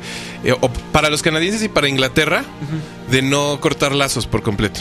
En primera porque recordemos el, el tamaño de los países europeos, no solo de Inglaterra, son- minúsculos, ¿no? Y carecen totalmente de recursos, no nada más de pieles. En ese momento el carbón empieza a ser importante a partir de la revolución industrial y más, ale- más adelante van a ser los, los hidrocarburos. Recordemos que Canadá, en la zona de Alberta, Ajá. en los suelos arenosos de Alberta, se encuentra el tercer yacimiento de petróleo más grande del mundo. Ajá. Eso lo van a descubrir a comienzos del siglo el- del siglo XX, ¿no? Ajá. Entonces Gran Bretaña no lo suelta de lleno, ¿no? Y lo suelta hasta que se han hecho los lazos precisamente con el, el ascenso del sistema del mundo capitalista, cuando ya se puede, son una oligarquías multinacionales que ya, ya tienen seguro los recursos, ¿no? Pero la riqueza de Canadá es muy amplia, también la riqueza maderera, por ejemplo, y más que nada porque es una zona de tránsito de, de tránsito marítimo, a pesar de que el Ártico... Ah, otra recomendación, tienen Mm. que ver justamente en el siglo XIX, en la década de los 40 del 19 han visto la serie The Terror, el terror. El terror. Es increíble esa serie. La acaban de estrenar hace un mes. ¿En dónde la estrenaron? Eh, creo que es AMC, la, eh, la cadena. Ya está completa, es, solo una- es una serie de 10 capítulos. ¿De qué trata? Trata sobre la búsqueda del Imperio Británico por encontrar el paso del noroeste o del no- noreste, dependiendo de dónde vengan. En este caso del noreste, eh, que es en el Ártico. Eh, entonces mandan dos buques. Eh, primero estuvo la expedición, si no me equivoco. Bueno, hubo una expedición, dos expediciones fallidas. Eh, no lograron encontrar el paso. Hasta que mandan dos buques, dos barcos. Uno se llama The Terror y otro se llama. Bueno, un, ba- son- un barco que se llama El terror, el terror. Esta historia es veri- esta historia es Maestros. verídica. Ajá. Entonces. Así eh, como existen las islas de la desolación allá en las zonas australes de este país. ¿Te imaginas a el buque El Terror visitando las islas de la desolación? Y esta historia es real. No, lo que estamos diciendo es de verdad. o sea, está simpático que exista, pero no. Por cierto, hablando de cosas de verdad que parecen de cuentos de fantasía, Terror. ayer descubrieron a un tiburón en justo la zona en la que estamos hablando de más de 500 años. ¿Qué? Vivo. ¿Cómo, cómo? Sí, un tiburón de más de 500 años que vive ¿Y en las zonas lo- árticas de cómo este lo dataron? porque se lo calcularon porque los tiburones crecen un centímetro al año hasta el final de sus días. Entonces hicieron los cálculos, es una, ma- es una bestia gigantesca ¿Y qué tipo de tiburones? y a mí aquí tengo la noticia, Estaba, es muy apasionante de hecho. Eh, y sí, tal cual, le calcularon alrededor de 500 y pico de años, 512 años, habita en aguas del Ártico. ¡Wow! Sí, eh, dice que los mide 5.4 metros de largo y pesa más de una tonelada. Y buscaba compañera por mucho tiempo, o en su defecto, tuvo cientos de ellas durante su existencia. 500 años. 500 años. O sea, cuando los, fra- los franceses y británicos comenzaban a llegar a suelo canadiense. Sí. Estos escualos son anteriores a la revolución industrial y la pesca comercial a gran escala, por lo que han sido llamados cápsulas del tiempo de vida, ya que podrían ayudar a descifrar cómo el comportamiento humano ha impactado los océanos. Eh, pues ahí está, una- un tiburoncillo de 500 años dando vueltas por allí, por la zona en donde estamos, de la que estamos hablando. Wow. Pero eh, de terror nos estabas diciendo. De, de Terror, eh, de- ya, ya, ya chequé cómo se llama el otro barco, es el Erebus. De hecho, por eso bautizan. Esos barcos habían hecho una misión previa al Antártico, al, al otro polo. Por eso, por eso le ponen el monte Erebus, un, famoso, un famoso volcán que hay en el sur. Entonces, estos barcos, esta es una historia real. De hecho, a mí me fascinan estos, estas, estas, digamos, épicas narraciones, ¿no? Eh, de hecho, esto inspira, inspiró a H.P. Lovecraft para escribir en las montañas de la locura. Ah. Lo hayan leído. Eh, y esta es basada en una novela eh, de lo que el autor pensó que podría haber pasado con estos, con barcos. Tienen el- ¿Desaparecieron los barcos? desaparecieron, los acaban de encontrar, creo que uno en el 98 y uno en el 2005, algo Oh así. my god. Entonces véanlo, porque toda la tripulación murió. De terror. Y no sabe qué pasó con ellos. No sabe si fue envenenamiento por las estas latas de Ajá. con plomo y todo esto, ¿no? Pero escorbuto y todo eso. Ah, y sale este actor muy chingón. Sí, eh, siempre sale de malvado en películas inglesas. Sale uno que se llama Ciaran Hines, que también sale en Game of Thrones. De exacto. Sí, sí, sí. Eh, es muy buena serie, se la recomiendo mucho. Son 10 capítulos. Es muy cruda, tampoco es muy. Y tiene un elemento sobrenatural interesante porque salen. Hacen contacto con los Inuit, la visión del autor sobre lo que ocurrió. Y es muy buena. Ahí está. Y otra más que se llama Nanook del Norte. Ah, bueno, es Claro. una referencia absoluta. Que no es un vida. documental como tal. O sea, No, no. es, es entre ficción y documental. O sea, estos personajes se les dijo que. Se les explicó lo que estaba haciendo. Pues actúen esta historia. Y es A ver, para quien no lo sepa, es un, estamos hablando de, de- tal vez el joya primer eh, documental eh, famosísimo de la historia. Es un documental histórico y es un documental sobre justamente un esquimal, sobre un esquimal, un esquimal llamando, llamado Nanook. Nanook. Y que la historia simpática es que se grabó por completo y se quemó. Entonces este güey dijo, no, ¿cómo se va a ver quemado? Entonces lo volvió a grabar, pero cuando lo volvió a grabar, lo reescenificó. Todo lo que había grabado, más o menos como en un ambiente de poca participación, lo reescenificó. Y tiene unas partes rarísimas en donde construyó un iglú gigantesco y lo partió por la mitad para que se viera un poquito la disposición de la vida dentro del iglú y demás. Poquito tiempo después murió Nanook eh, congelado por ahí eh, a la distancia, pero el documental es una pieza clave de la cinematografía. Y está en YouTube, monta- o sea, sí, sí, sí, aparte ya de, propiedad de la humanidad. Sí, sí, sí. Entonces sí, eh, estas dos cintas, bueno, esta serie y esta cinta son, son muy buenas recomendaciones. Y nos, eh, nos empezamos a adentrar al siglo XX, ¿no? Y recordemos que... Siglo XX. Siglo XX. Ahorita estamos ante una nación que no quiso. Se está conformando o sea, que, apenas. que está, ahorita es un territorio inglés. Son las provincias, las provincias unidas de Canadá. Las provincias, en estos momentos estamos en algo llamado las Provincias Unidas del Canadá. O sea, es como, primero empieza como una confederación. Ajá. O sea, se- es que también es importante aclarar algo. Es tan grande el territorio canadiense que no se puede como homogene- homogeneizar territorialmente ni políticamente, porque ir de la costa del, del, del- del Atlántico al Pacífico tardaba semanas.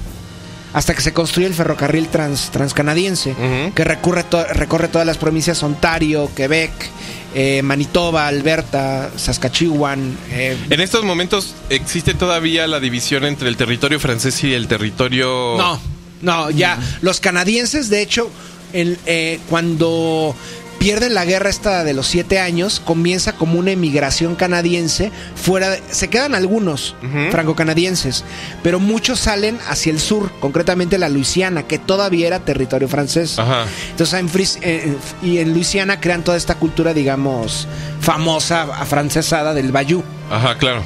Entonces, pero siguen habiendo canadienses Ok. pero se siguen resistiendo al, a- al dominio británico o angloparlante, por lo menos, ¿no? Entonces, hasta que llega la Primera y Segunda Guerra Mundial.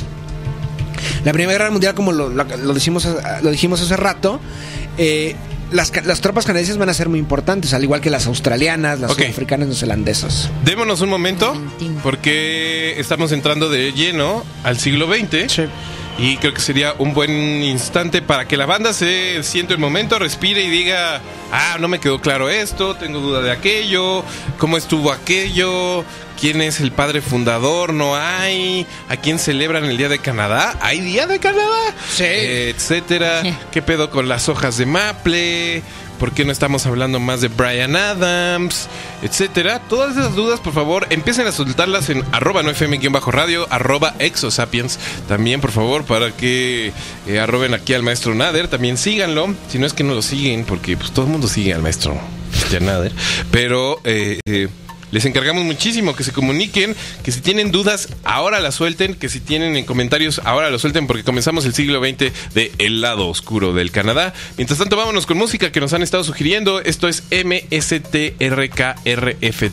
Easy Love, un dueto canadiense de música electrónica, y después vienen Nelly Furtado, Terrence and Phillip, Crystal Castles, todos canadienses, no FM, todo menos miedo. Estamos de vuelta, mis queridos gorilas. Esto es 9FM y estamos en vivo y en directo para todos ustedes desde la Ciudad de México. 62748323 arroba 9FM, quien bajo radio, arroba playlist. 9FM, por si quieren checar toda la música que estamos programando. Y Facebook, 9FM, guion radio. También nos pueden ubicar vía diagonal, todo menos miedo. Ahí están los medios de comunicación, mis queridos gorilas. Pónganse en contacto. Estamos muy al pendiente de todo lo que nos quieran decir, comentar y aclarar esta mañana aquí en su 9FM de confianza. Estamos muy contentos porque estamos en jueves de invasiones con el señor Christian Nader y Estamos hablando de lado oscuro de Canadá. Comienza el siglo XX, mi querido amigo. Sí, el siglo XX, pues bueno, obviamente comienza oficialmente, eh, digamos, con la, la Primera Guerra Mundial, ¿no? En, la, en muchísimas de las tropas británicas van a ser precisamente de sus dominios de ultramar, de sus colonias. Canadienses, neozelandeses, australianos, sudafricanos, eh, etcétera, ¿no? Bueno, de las islas del Caribe, en fin, y la India también. Entonces, en esa misma época, eh, al ver la, la barbarie que se desata en, en, en suelo europeo y al darse cuenta los canadienses que, como lo mencionamos, que son carne de cañón para la corona británica, pues comienzan poco a poco a haber una, no una animadversión, pero como un sentimiento como de de alejamiento de, Gran Bretaña, ¿no? Se dan cuenta que eh, eh, ya, han ya han forjado una, una identidad distinta, por lo menos los británicos. Eh, los, perdón, los, los, los descendientes de los colonos británicos. Entonces ya Canadá se empieza a percibir como otra como otra nación, ¿no? Y recordemos, todavía la, la bandera canadiense de aquella época, pues todavía va a ser eh, parte de, ahí va a estar la, la Jolly Roger, o sea, el- la bandera británica, y la, la bandera famosa que se me hace espeluznante, la, la con la hoja de maple, Ajá. llega hasta los 60, es la, man- la, la bandera con menos imaginación que hay, ¿no? Es, Ay, está chida. no, Está no. chida. ¿Por qué, ¿Por qué te parece no tan gusta? aberrante? no, no sé, habiendo... eh, Habiendo ejemplo, águilas, nopales, serpientes. Tienes tantos, por ejemplo, en el caso mexicano, pues tienes el águila, el mito de, del águila y el nopal, etcétera. Pero ahí tienes, no sé, el pájaro trueno, tienes infinidad de iconografía de los pueblos originarios y metes una, una hoja de Pero es maple. iconografía de prietos. Eh, Eso sí. Nader. Y ¿Qué pasó? No, no entiendo por qué te lo tengo que. O sea, ¿no soy yo el que te tendría que aclarar esas cosas, Nader? ¿Qué quieres? Hay una bandera con un tótem, un monstruo horrendo que solo gente morena entiende. Estaría bien chido. Una Sí, bandera sí, debería haber chido, la verdad. Por Lo más cercano que tenemos a Canadá, de hecho, Fui a visitarlo el otro día, por cierto. el de Chapultepec. Cuéntanos. Mí me El encanta. tótem de Chapultepec. Sí, el tótem de- Está muy... pa- De hecho, bueno, si ustedes... Lo han- acaban de restaurar, por Tiene cierto. años que no voy yo al tótem. Yo nunca había, yo no sabía que existía, me contaron ¿No? hace unos meses, dije, pues voy a ir a verlo. Y sí, tal cual, en el corazón de Chapultepec hay un tótem regalado a México por Canadá, eh, confeccionado, pensado y, y, eh, Altísimo, de desarrollado. hecho, ¿eh? Eh, Sí, son como 10 metros. Sí, sí, sí. Eh, por un importantísimo artista canadiense.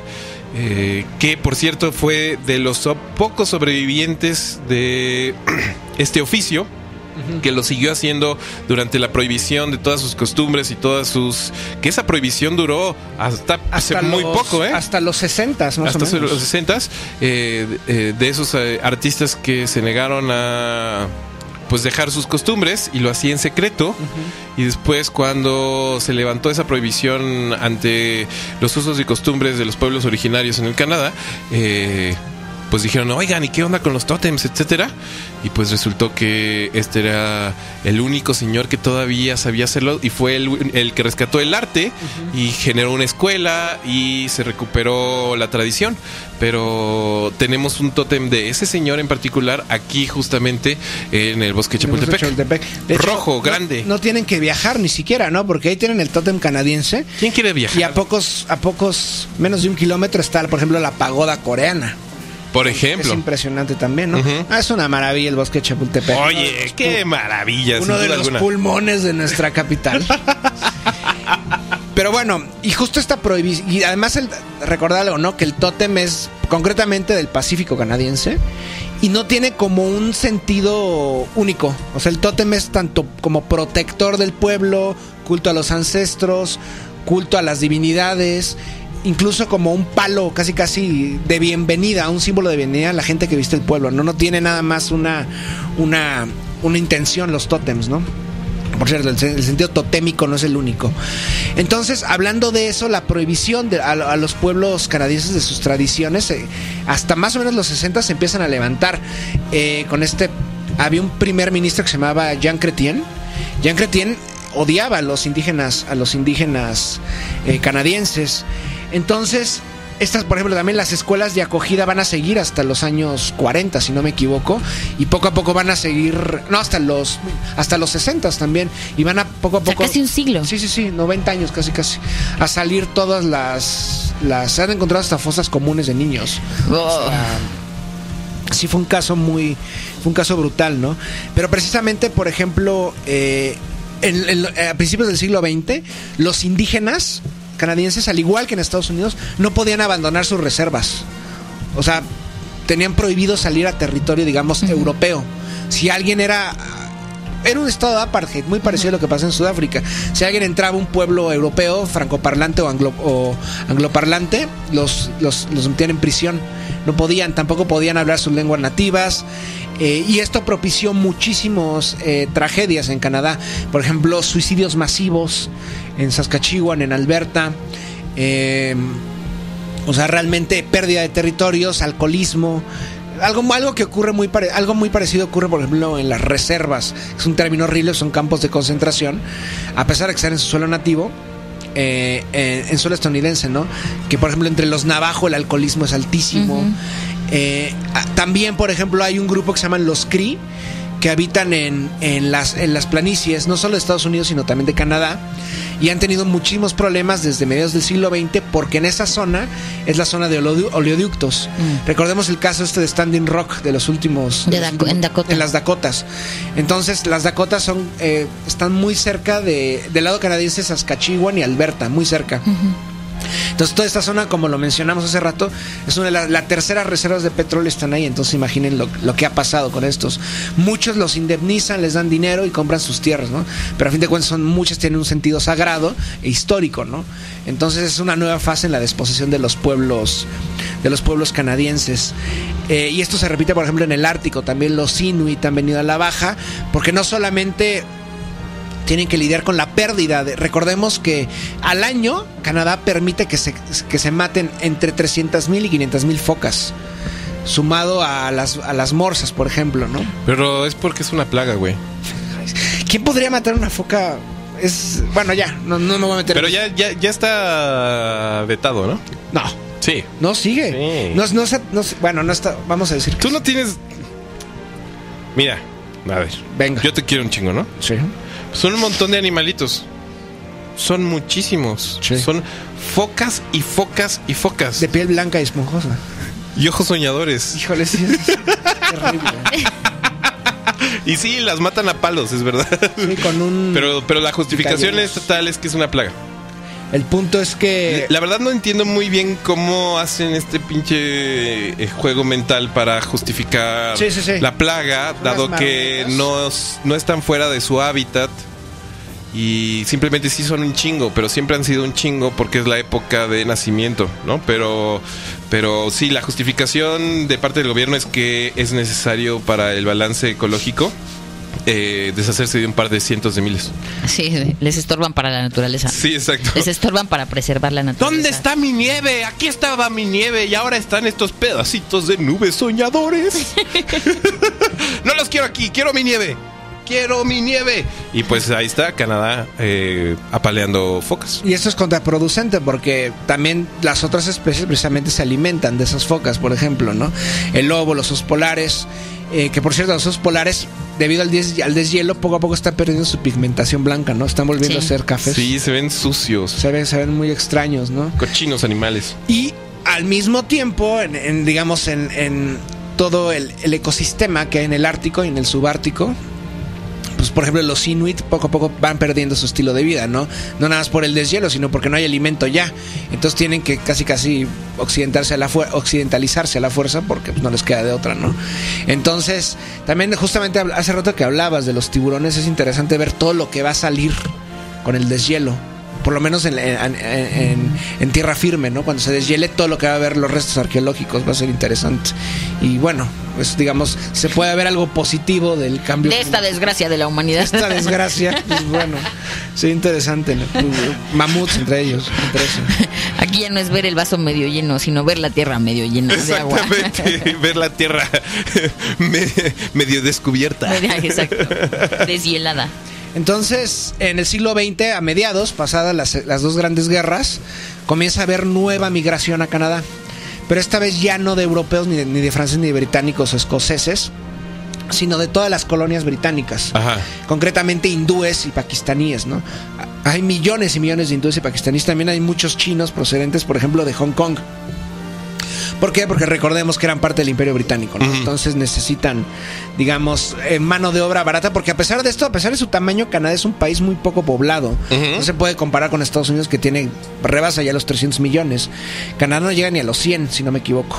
100 millones. No, no llega ni a los 100. En todo el En Canadá. todo el Canadá, o sea, ni a. Me- creo que ni la mitad de México. Ahí está. O sea, es un país muy poco poblado y empiezan a recibir per- eh, emigrantes de todas partes del mundo, desde el mundo árabe, eh, desde el, el subcontinente indio de Pakistán y la India, etcétera, ¿no? Entonces, por ejemplo, también ocurren grandes atrocidades. Eh, cua- cuando eh, en la Segunda Guerra Mundial, por ejemplo, que también pelean tropas canadienses, obviamente, eh, no, ah, de hecho, algo interesante. Cuando a finales del a mediados del siglo XIX, Ajá. este Andrew Jackson, el presidente estadounidense, Sí, el famosísimo Andrew. elabora un plan para invadir Canadá. O sea, él quería invadir Canadá y apropiarse de las de las de las colonias británicas en suelo para, para expandir el territorio estadounidense, ¿no? No me sorprendería. No. No me sorprendería. Andrew Jackson, formado, por cierto, en la guerra de 1812, el gran defensor de Nueva Orleans y también el diablo, el primer diablo blanco conocido por las naciones del Dakota. Sí. Eh, Tenía, tenía ya su historial con eso. funda, eh, funda- creador de uno de los momentos más horrorosos de la historia, eh, llamado la Gran Marcha, que fue cuando, Cuando sacaron a todos a los indios del. Mississippi y los hicieron caminar hasta el desierto de Arizona. En donde evidentemente pues no sabían ni qué mierdas era eso de la arena, vivían en un pantano Sí, recordemos y que fue un genocidio brutal del cual se habla muy poco, pero que los pueblos originarios norteamericanos jamás han de olvidar y que hicieron que Andrew Jackson entrara en su panteón eh, divino como una de las personas más diabólicas y malsanas de la historia. Sí, que se extiende hasta el siglo XX. Recordemos un Knee y todo eso, o sea, Sí. que justamente su hábitat no eran, como tú lo mencionas, no eran los desiertos ni, ni, ni las No. planicies, eran precisamente los pantanos. O sea, y a muchos grupos indígenas lo que les dan es, pues, toma tu casino, ¿no? Sí, hagan de cuenta ustedes que de repente llegaran a un pueblo, a Tlajiaco, Oaxaca, eh, Oaxaca mi querida Gaby. Aguas. y le dijeran a todos, oigan, ¿nos gustan sus terrenos?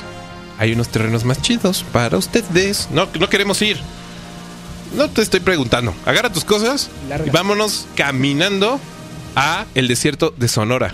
No. Imagínate y las tlayudas Los mixtecos y se los, ponen locos. y los maíces y los cerditos y las y evidentemente fue uno de los momentos hay un documental desgarrador en, en YouTube que lo pueden lo- le- consultar que se llama así La Gran Marcha eh, en donde justamente se habla de esta peregrinación a el desierto que es simbólica a todos niveles y de cómo llegaron estos pueblos a pues a llorar su su, Su despojo, su, su despojo desplazamiento. terrible y cómo se fundó este pueblo que es el pueblo más alcohólico del mundo. El alcoholismo es terrible. Se llama White eh, White Hills o White no sé qué, que es una Sí, la gente tirada como a montones Sí, en las calles. En las calles, porque es el que es históricamente el pueblo alcohólico de los Estados Unidos.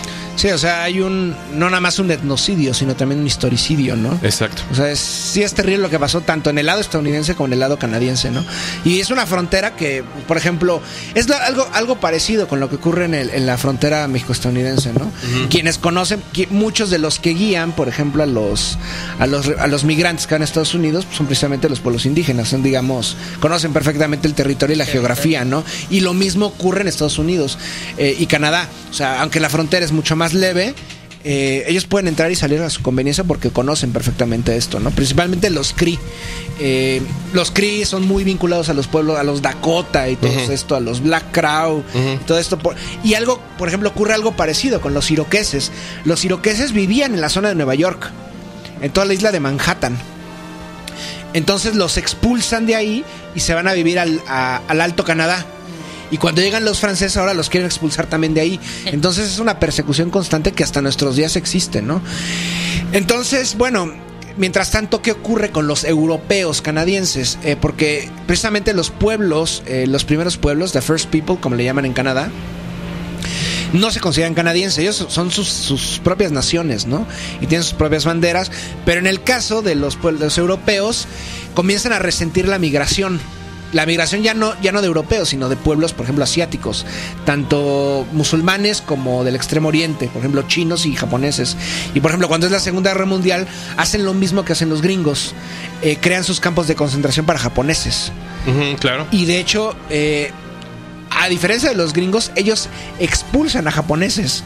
Expulsan, se dice que a más o menos 30 mil japoneses, que ya eran ciudadanos canadienses, muchos nacidos en Canadá, y se van. Entonces eso jamás... Son de esos episodios de la historia canadiense que, pues, que nadie menciona, ¿no? Entonces, al mismo tiempo comienza a haber, comienza a un proceso de... eh, nuevo, nuevo proceso de despojo en, en contra de los pueblos eh, nativos de Canadá, porque empiezan a descubrir grandes yacimientos petrolíferos y gasíferos. Por ejemplo, uno es en la zona de Alberta Ajá. y otro es en el Ártico. También en Alaska hay un... rece- Perdón, es el caso estadounidense, pero no, no podemos hablar de Canadá sin hablar de Alaska porque históricamente es una pues, parte del territorio de lo que se considera Canadá, ¿no? Entonces no, viene un nuevo proceso de desposesión de los pueblos porque les compran a pueblos, los amenazan en primera para que vendan. Si no venden, empiezan a, hacer- empiezan a sufrir acoso, violencia, etcétera. Entonces, lo- como ya lo, lo acabamos de mencionar, el caso de, de Standing Rock es uno de los últimos, ¿no? Y tiene que un año, ¿no? Si no me equivoco. Sí, va para el Más, año y medio. Fue antes de eh, las elecciones con Trump. Querían co- construir un oleoducto. Y lo mismo pasa en este momento, por ejemplo, en Alberta, que quieren construir uno- en, en un oleoducto y no, no, no lo permiten los pueblos, eh, los pueblos originarios, ¿no? Y hay otro caso muy concreto también que ocurre en 1990. En un, en- un pueblo llamado Oka. Oka. O- Oka está en Quebec. Ah, nos habías propuesto una rola al respecto. Una rola que yo no soy fan de eh, yo no soy fan del punk. Tú no eres fan de nada, Nader, solo de la historia y de las terribles desgracias humanas. No, ahora que lo pienso, Ah, bueno, eres un gran cinéfilo. soy un cinéfilo. Y me gustan mucho varios músicos canadienses. Eres fan de también la doñita de las plantas. Anita de las Plantas, un saludo a Anita de las Plantas, a Bianca. ¿Eres fan de ella? Sí, por supuesto. Ah, pues ahí Por está. supuesto. Ahí está. No, no, no es, no es porque sea Eres el presidente del club de fans de la doñita de las plantas. no es porque sea canadiense, pero soy su fan. Ahí está. Ahí está. Eh, por ejemplo, eh, grupos que me gustan canadienses, que no son canadienses, más bien no son canadienses, se llama Boards of Canada. Birds of Canada son Pero muy no son, buenos. son, son británicos, no son canadienses. Justo ayer estábamos escuchando un poco de Birds of Canada en Ecléctica Automática todos los eh, miércoles a las 11 de la noche con el maestrazo Giru. De verdad, escúchenlo. No saben la música que está poniendo el maestro. Lo amo muy profundamente. Y justo ayer puso Birds of Canada. Por Justo. ejemplo, Psylove, lo Ajá. de- creo que lo, pusiste, lo pusieron ahorita. Mm, ¿O te lo recomendaron? Me... No, en el bloque pasamos luego pusimos a eh, la banda de South Park, a Nelly Furtado y a MSTRKRFT. Bueno, Psylove es otro músico canadiense. Por ejemplo, hay uno, ah, Richie Houghton, quien conozca a Richie Houghton, Plastic Man. No, no, conozco. Bueno, la historia es que el, el techno empezó en Detroit, pero pronto cruzó al otro lado del lago, Ajá. lago Michigan, y llegó a Toronto. Entonces en Toronto, eh, más bien al lado canadiense, vivió un personaje que se llama Richie Houghton y él fue, digamos, fue el que revolu fue el primer blanco que expuso el techno a nivel mundial cuando era un Ah. movimiento negro de resistencia. Richie, ¿cómo se llama? Houghton, How? H-A-W-T-I-N. Antes se le conocía como Plastic Man. Ya es lo que hace conte- en la época contemporánea, no me gusta mucho, pero antes era un gran, un gran exponente del techno, más fino que hay. Oh, maestro. ¿Te gusta el tecno? Me gusta, me gustaba el techno, ya no. Ok. Ujú. Hay un grupo, hay un, Eres movi- un misterio, Nader. sí. hay un movimiento muy interesante. Sí. No te veo, te veo que... ah, no sé por qué ahora salté muy claramente a tú hace unos años jugando con unas cadenas con fuego. No, Así, dando giros, con, No, ese- o con unos palitos de luz eh, Sí, sí, sí. neón. no, ese tipo de raves no me- nunca fui, me gustaba más del rave más sucio abajo de una bodega con solo un estrobo, ¿no? ¿El que empezaba a las 7 de la mañana? Eh, sí. De hecho, eh, hay un movimiento político, es muy interesante que lo busquen, se llama Underground Resistance. Underground Resistance. Comenzó en Detroit, y son puros, en su mayoría son negros, son músicos negros, eh, y es como un tecno eh, con un contenido político importante. Es interesante. Se lo Ok. recomiendo mucho. Eres, eres muy apasionante, Nader. Muchas Tienes un cerebro extraño. Bizarro. Sí, sí, no, no, no, no, no se me ocurre ahorita otro adjetivo. Pero sí, eres muy apasionante. Jamás me hubiera imaginado que fueras un conocedor de música electrónica. Sí, lo soy. Ahí está. Bueno, pues ya lo saben ustedes también, mis queridos amigos. En fin, ¿qué más del siglo XX canadiense, mi querido Ah, Nader? bueno, entonces en este pueblo de Oka, que está en Quebec, y recordemos que los británicos, bueno, los de habla inglesa, los canadienses, está el cisma, ¿no? La zona de Quebec es francamente muy distinta a la zona, a la zona británica. La zona británica, bueno, ex británica, es muy similar a la zona estadounidense. En este momento tal vez Quebec ya también lo sea, pero tienen esta identidad franco-canadiense y un sentido muy europeo y al mismo tiempo también hay mucho racismo tanto por parte de los, de los anglos como de los francos, ¿no? Entonces en este pueblo de Oka había Mohawk, era una comunidad Mohawk. Ajá. Eh, los Mohawks, por supuesto, de ahí viene... eh, El famoso peinado. el famo- el fam- los moicanos, digamos. ¿no? De hecho, pueden ver esa película, El último, Los Moicanos, aunque se desarrolla en el, en el- al sur, en el lado estadounidense, con ese Daniel Day-Lewis en las guerras entre Gran Bretaña y Francia y cómo utilizan a los Mohawk Ajá. en medio de esto, ¿no? Es interesante esa película. Bueno, en este pueblo de Oka, estamos hablando de 1990, comienzos de hace no mucho tiempo, ¿no? Eh, querían construir un campo de golf.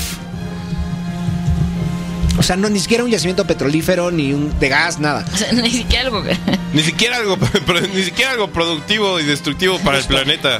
Un campo de golf. Un Hay que fomentar el deporte. Nader. Es- ¿Has jugado golf? Yo creo que es de los deportes más aburridos. Nunca, no, no, nunca. Es divertido el, el minigolf. El. Un amigo se aficionó no al golf, sino a pegar. pues, supongo que A pegarle parte a la golf. gente con palos de golf. ¿Te imaginas?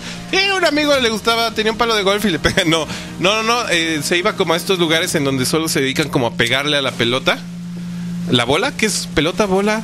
Bola, eh, Esfera, bueno, no sé cómo se llame. Le pegaba así como a una red, hacia una red. ¡puc! Sí, solamente tirar. Nada más tirar. Eso, un amigo mío se aficionó a eso un tiempo, pero no, no nunca he jugado golf. ¿Aquí en México?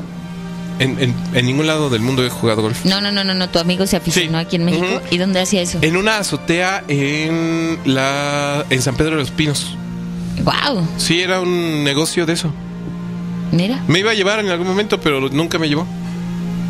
Es, lo único- es mi única referencia del golf. Y el club de golf de Malinalco, que sé que existe. Y No, una yo- colonia que se llama Club de Golf en la- el sur de la Ciudad de México. No, desconozco. No, Y una broma muy divertida de Bill Burr sobre Tiger Woods. ¿Qué era? Pues que no debían pedirle que se disculpe. Pues que sí era muy fácil pedirle que se disculpara por Ya ser venir, ¿eh? un tipo infiel eh, y por haberse acostado con todas las mujeres que tuvo de frente mientras estuvo casado y no sé qué. Eh, pero es que pues a los mortales nunca nos ha tocado que saliendo de ganar el PG 18, no sé cómo se llaman los torneos estos, eh, un, camión de escandinavas te estuviera esperando afuera de- del campo de golf para invitarte a dar un paseo, ¿no? Así es muy fácil juzgar, Nader. Tú y yo sí podemos hacerlo. Pero Tiger Woods, quién sabe qué hubiera hecho uno. Así la broma de Bill Burr. No es mía, es de Bill Burr. Mi gran, gran, gran amigo Bill Burr. En fin, la cosa es que estamos hablando de Alberta. No funcionó nada. No. Eh, en Quebec. No, no, no, ustedes no son mi auditorio eh, perfecto para Bill Burr, pero sé que hay allá afuera gente muy aficionada a Bill Burr y se les saluda. ¿Quién es Bill Burr, de hecho? Sí, pues es tipo de cosas a las que me enfrento yo, ¿no? Eh, pues es, un, es un gran comediante, mi querido amigo. Es muy, muy colérico, te lo disfrutarías mucho. ¿Qué come- Hay muchos comediantes canadienses, ¿no? Dan Aykroyd es canadiense. creo. Dan Aykroyd, Mi- Mike, eh, Eh, Jim Carrey es Jim canadiense. Carrey, Mike Myers. Mike Myers. Por cierto, el buena, el buen, es Austin Powers. eh, ¿cómo se llama este estando? Pero no sé si Chevy Chase es canadiense. No lo sé. no lo sé. Pero Bill Hicks. Bill eh, Hicks es canadiense. Ajá. Por ejemplo. El insoportable este que salió en los noventas. ¿Cómo se llamaba? Este... Ay, Tom Green es canadiense. Ah, el gran genio Tom Green. No lo soporto. Yo no sé. Ah, idea para la nota, por cierto, los revolucionarios. Ahorita platicamos. En fin, este, me había olvidado, pero qué bueno que me acordé. Eh, en fin, mi querido amigo, estábamos hablando de. El pueblo de Oka. De Oka. y querían construir un campo de golf. Por supuesto, los Mohawks se pusieron como fúricos, ¿no? Entonces cerraron, eh, más o menos se empezaron a juntar más o menos 3.000, llegaron otras tribus, cerraron la carretera, eh, cortaron la electricidad, estaba sitiada la zona, ¿no? Y el, eh, el gobierno, el gobierno de Quebec pidió asistencia al gobierno federal y acabó mandando al ejército a 3.000 tropas. Entonces hubo disparos, eh, creo que hubo un muerto. Eh, y, y el- y se estaba empezando a contagiar esto a todas las zonas del país. O sea, realmente empezaron a haber alzamientos en, distintas tribus y distintas naciones originarias. eh, y fueron momentos muy tensos. De, de hecho, hay una imagen muy famosa, acabo de tuitearlo, en que un, un mohawk encapuchado está de frente a un soldado eh, canadiense y el soldado está así sudando de frente viéndolo, aterrorizado ante el mohawk. Entonces, Bueno, y recordemos también que los canadienses empiezan justamente a expandir sus intereses. Ya no. En 1982 se da el Acta de Canadá, por cierto. El Acta de Canadá, eh, Canadá es cuando, digamos, Canadá se libera, voy a decir, del yugo británico, pero realmente no hay yugo, ¿no? La- las relaciones siempre fueron muy estrechas entre Londres y- y Ottawa. Y, y bueno, Canadá se puede hablar de que ya es una nación independiente, forma parte de la Commonwealth, que es una identidad cultural, haber sido colonia británica, son de habla, son de habla inglesa, etcétera. Pero más allá de eso, ya es una nación independiente con sus propios intereses y, por supuesto, vinculada totalmente sumergido en el sistema mundo capitalista. Y Canadá empieza a expandirse a todos los rincones del mundo. Tropas canadienses en Tormenta del Desierto, tropas canadienses en Yugoslavia, tropas canadienses en África.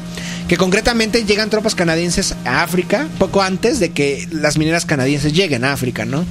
Entonces empiezan a llegar las mineras canadienses no solamente eh, al continente africano, sino también a Latinoamérica, ¿no?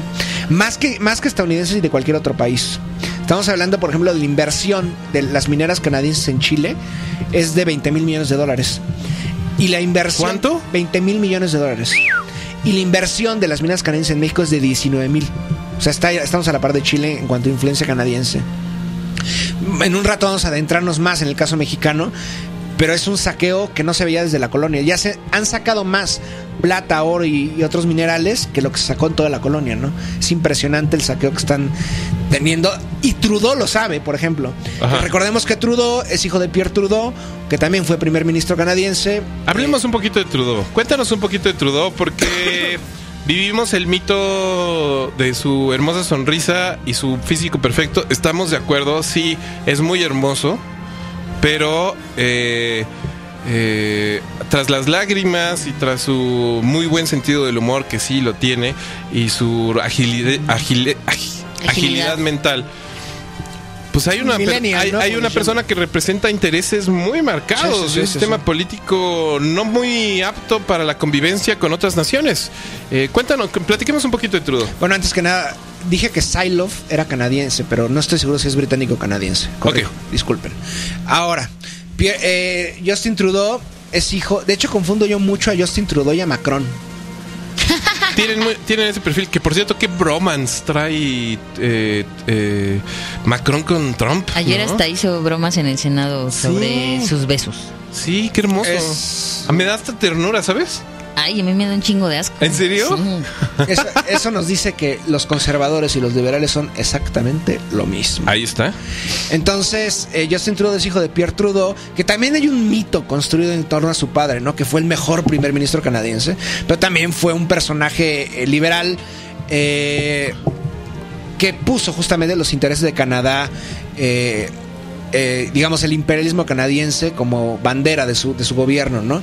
Entonces, este personaje liberal, también su hijo, eh, de hecho, creo que no se quería dedicar a la política. Asciende ahí como por popularidad, justamente como. Justo como un Macron, por ejemplo, ¿no? Son de esta nueva generación de políticos dinámicos y juveniles. Y esta. Esta fiebre que hay ahorita en el mundo, ¿no? Por- Por los diferentes. por los diferentes. Lo, necesitamos políticos más cercanos a la gente. Pero pues, Pierre este Justin Trudeau proviene de una ya de una familia con un amplio historial y un gran poder en Canadá y vinculado a muchos negocios medio turbios, entre ellos por supuesto las mineras. Justin, Justin Trudeau conoce perfectamente lo que está pasando en México. Y aún así no ha movido un dedo para hacerlo, ni lo va a hacer, por supuesto, ¿no? Y al mismo tiempo también lo que está pasando en África. Este personaje le vende armas a los saudíes. Le vende armas al gobierno neonazi de Kiev, por ejemplo. Entonces no difiere mucho de... Es lo mismo que Obama. Obama impuso esta moda. El hombre afroestadounidense, dinámico, juvenil, eh, un deportista. Y lo mismo pasa con Justin Trudeau, ¿no? Un franco-canadiense eh, que justamente va en contra de la ambición independentista en Quebec, por ejemplo, ¿no? Que que es muy fuerte y se mantiene ahí la, la, la- la- digamos, la emancipación de los quebecuá. Pero bueno, este Justin Trudeau, cuando vino a México, por ejemplo, se le entregó un documento que aquí están las firmas de todas las víctimas que ha habido eh, por la minería y los Canadiense. ecocidios que han habido, que si no me equivoco, más, en Latinoamérica han habido entre 50 y 100 víctimas del- de, la minería canadiense, ¿no? O sea, es muy alto. Y por supuesto las mineras canadienses no pagan impuestos. Y vemos lo que está pasando en Zacatecas, en Sonora, en Coahuila, en Guerrero, en esta mina que se llama San Luis Potosí. en San Luis Potosí también. En Perú también ha pasado. Y en África, por ejemplo, llegaban mercenarios canadienses a, a la, a la República Centroafricana y amenazaban a la gente, les quitaban sus tierras y poco tiempo después llegaban las, miner- las mineras canadienses, ¿no? Entonces, esto es el legado de Justin Trudeau y esto es realmente Canadá. Canadá imitando, por supuesto, el modelo imperialista estadounidense, pero con esta imagen en el mundo como el... el la, como el, la potencia benéfica, ¿no? Porque recibe a muchos inmigrantes, etcétera, ¿no? Pero también es una potencia eh, extract- extractivista atroz superior a lo que hace Estados Unidos en, en, en suelo mexicano, por ejemplo, ¿no? Entonces, bueno, por cierto, ¿cómo acabó el caso de Oka? Pues el caso de Oka acabó en que el ejército, el ejército canadiense tuvo que retroceder y, y se quedaron sin campo de golf. Pero eso se repite. Ah. Eso se repite cada vez que el mundo pierde un campo de golf, muere un hada. Muere, no, Una una, pequeña- familia, una familia de hadas Una pequeña familia de en hadas este caso de focas, de- focas ¿Eh? bebé. que, que iban a montar focas bebé. ¿Y qué es una foca bebé sin un hada montándola? Hay que matar a esas focas bebés. Ahí está el ciclo de la violencia, Nader. Por cierto- Ahí está el ciclo del reciclaje fantástico. Eh, se pierde un campo de golf. Chécate. Chécate cómo ya llegamos a la conclusión muy La clara y la y, y pues muy explicativa de la situación. Se pierde un campo de golf. Muere una hada. Las hadas son conocidas por montar focas bebés. Si una foca bebé no es montada por un hada, la foca se deprime. Si la foca se deprime, no sirve para nada porque ya no enternece y hay que matarla. Y entonces el gobierno canadiense tiene que ejecutar un plan de limpieza de focas deprimidas porque no tienen hadas, porque el mundo perdió y está perdiendo constantemente campos de golf. Gran ecuación. Ahí está. Las explicaciones claras, las explicaciones sencillas y las explicaciones reales aquí en su 9FM de confianza. Ahí, por, por cierto, yo Esto no lo van a escuchar en Excelsior TV, por favor. Porque ahí no hablan de hechos. No se dan los lujos de decir verdades. No se dan los lujos de hablar con la verdad. en fin, mi querido amigo, Trudeau, sigamos. Eh, Justin Trudeau tiene una maestría en geografía del medio ambiente. ¿Ah, ¿En serio? Imagínate nada más ya con eso. Sí, un doctorado en literatura inglesa, ¿no? sí, sí, sí, o sea, Sí. Justin Trudeau tiene, es- está definido por una, una frase de mi abuelo, que es tiene ojos de chingame los centavos. También lo he escuchado. Es muy hermoso, sí. o sea, por ejemplo, las mineras canadienses en este momento ya tienen concesiones en más de la mitad del territorio mexicano. O sea, pueden hacer lo que quieran. No pagan impuestos, nadie las controla. Y si, si por sí, de por sí ya tenemos problemas con, por, por ejemplo, los Larrea, con Grupo México y con Carlitos Slim, que también tiene su influencia en las mineras. Ahora llegan los canadienses y nadie les puede poner un alto, ¿no? Entonces, pues justamente es como la imagen de Canadá que nadie conoce, ¿no? Eh, está vendiendo armas, por ejemplo, a Siria, a Siria, eh, a los terroristas que están en Siria, los patrocina también. Eh, estamos hablando de 700 proyectos eh, mineros en, en 35 países, ¿no? Entonces, es, eh, por supuesto, en países donde el gobierno por unos cuantos centavos se vende y permite que las mineras canadienses hagan lo que quieran, ¿no? Y en el propio territorio canadiense, eh, estamos viendo consecuencias de esto, nada más que en ese caso es el gas y el petróleo. Lo que está pasando en- en Alberta es muy importante, o sea, ha habido nuevamente suicidios por parte de indígenas que pierden sus territorios, eh, que son lugares, no nada más eh, sus territorios ancestrales, sino también lugares sagrados, ¿no? Eh, envenenamientos por, sus, por, por materiales pesados, también hay minería. entonces es terrible lo que está pasando en Canadá y están extendiendo, digamos, estas atrocidades a otros territorios. Ahí está. Mi querido amigo, te siento concluyente. Estamos llegando al final de El lado oscuro del Canadá. Yo diría que sí. Ok. Ok, pues te parece si vamos con música. Sería, sería, sería no nada más decente, también congruente terminar por primera vez un programa, como cerrar, concluir un solo programa, suavecito, a gusto. Qué bonito, ¿eh? Qué bonito, qué gusto. ¿Cómo la pasaste, Gaby? Muy bien, Estuvo bien, ¿no? estuvo bien. No te da, no te vas con el tedio absoluto de saber que vamos a hablar de lo mismo el próximo programa, por ejemplo. Nunca me ha dado, me he ido con tedio. Ay, a veces sí, yo sí, yo sí. Nah. En el séptimo, los del séptimo al octavo programa de Rusia, sí pensé que íbamos a estar aquí unas Claro 20 que programas no, más. de- pero es que del séptimo al octavo estábamos en lo más apasionante. ¿La del Segunda Guerra? XX, sí. No, ese fue del sexto al séptimo. Después empezó La posguerra. la posguerra. ¿Qué lo que era? ¿Qué lo que era? Somos muy hermosos, Nader. Dilo conmigo. Los somos muy hermosos. Ahí está. Ustedes allá afuera, díganlo conmigo en estos momentos. Voy a contar hasta el alcen 3. sus brazos. Alcen sus brazos hacia el sol y díganlo conmigo. Hacia el- los si, brazos a si la pueden, si pueden grabarlo. Levanta tus brazos, Nader. levanta tus brazos, Gaby. Levanta tus brazos. Y es como un culto esto. ¿Listos? Vamos a decir una, dos, tres. Somos muy hermosos. ¿Listos? Una, dos, tres. Somos, Somos muy, muy hermosos. Yo no lo dije. Qué tonto. A ver, va de nuevo. Va de nuevo. Nader, la- Nader, los brazos, por favor. Estamos haciendo una dinámica aquí. Sí. Una, dos, tres. Somos, Somos muy muy hermosos. hermosos. Esto se llama Oka Everywhere Propagandi, no FM, todo menos miedo. Eh, estamos de vuelta, mis queridos gorilas. Esto es No FM y estamos en vivo y directo para todos ustedes desde la Ciudad de México. 62748323 arroba no FM bajo radio arroba playlist no FM por si quieren checar toda la música que estamos programando. Y Facebook no FM guion radio. También nos pueden ubicar vía diagonal todo menos miedo. Ahí están los medios de comunicación, mis queridos gorilas. Muchísimas gracias a toda la gente que se ha acercado, que pregunta, que comenta, que pide canciones, etcétera. Comencemos con nuestras redes sociales con esta extraña pregunta del señor Vallens que dice: ¿Ya acabó? No. No, querido amigo. Aún no. Eh, estamos por terminar, pero no. Recuerda que este programa se transmite de lunes a viernes de las 9 de la mañana a las 12 del día. El maestro Exo Sapiens, el maestro Christian Adler, se.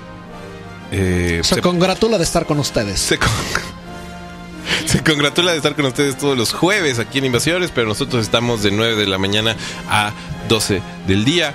Ven, acompáñanos. Conoce el buen camino de la radio libre. Te conviene, te hace bien y de verdad le importa que te acerques. Como casi nada en tu vida. Es verdad. Este es, este es el mundo que compartimos. Giru también se comunica, dice, ese Trudeau es un pafachito apachurro. apachurro. Ok. Te queremos mucho, Giru. Papa- Muchas- pa- papachito. apa- apa- eh, pafachito. Ah, como facho, papacito. Ah, combinación de papacito y facho. Gran maestro Giru de la Supongo lengua. que fue eso. Sí, yo creo que sí. El ángel dice, Why? Why do we even let you be a country? Canadá. Ahí está. Eh, ¿Qué es raro? ¿Si es un país o no es un país? Sí, sí, es, en este momento ya es un país del- desde los 60 ya es un país independiente. Pero aún es parte de la Commonwealth o no? Sí, sí, sí, sí. ¿Qué Pero, involucra ser un país independiente y ser parte de la Commonwealth? Pues, por ejemplo, preservar. Es como ser de la OTAN. No, porque la OTAN es militar. Esto es Pero es una organización. cultural, eh, económica en cierto punto. Reconocen a la reina. Pero es- reconocen la reina. No, no, no sé si en los dólares canadienses todavía Sí, todavía. todavía sale la Isabel II. Sí. eso. Eh, pero realmente la identidad canadiense, quienes han, tenido la, la- la fortuna o desfortuna de estar en Canadá, yo, yo la tuve y creo que muchos oyentes igual han, han visitado Canadá. Yo fui de pequeño, al igual que tú, a un como campamento, algo así. Es creo que de los... O sea, es- no es un país como turístico. Se me hace extremadamente plástico, muy a la usanza estadounidense. Y no creo que sea, a pesar de que es una nación, es una nación como incompleta. Yo la veo así.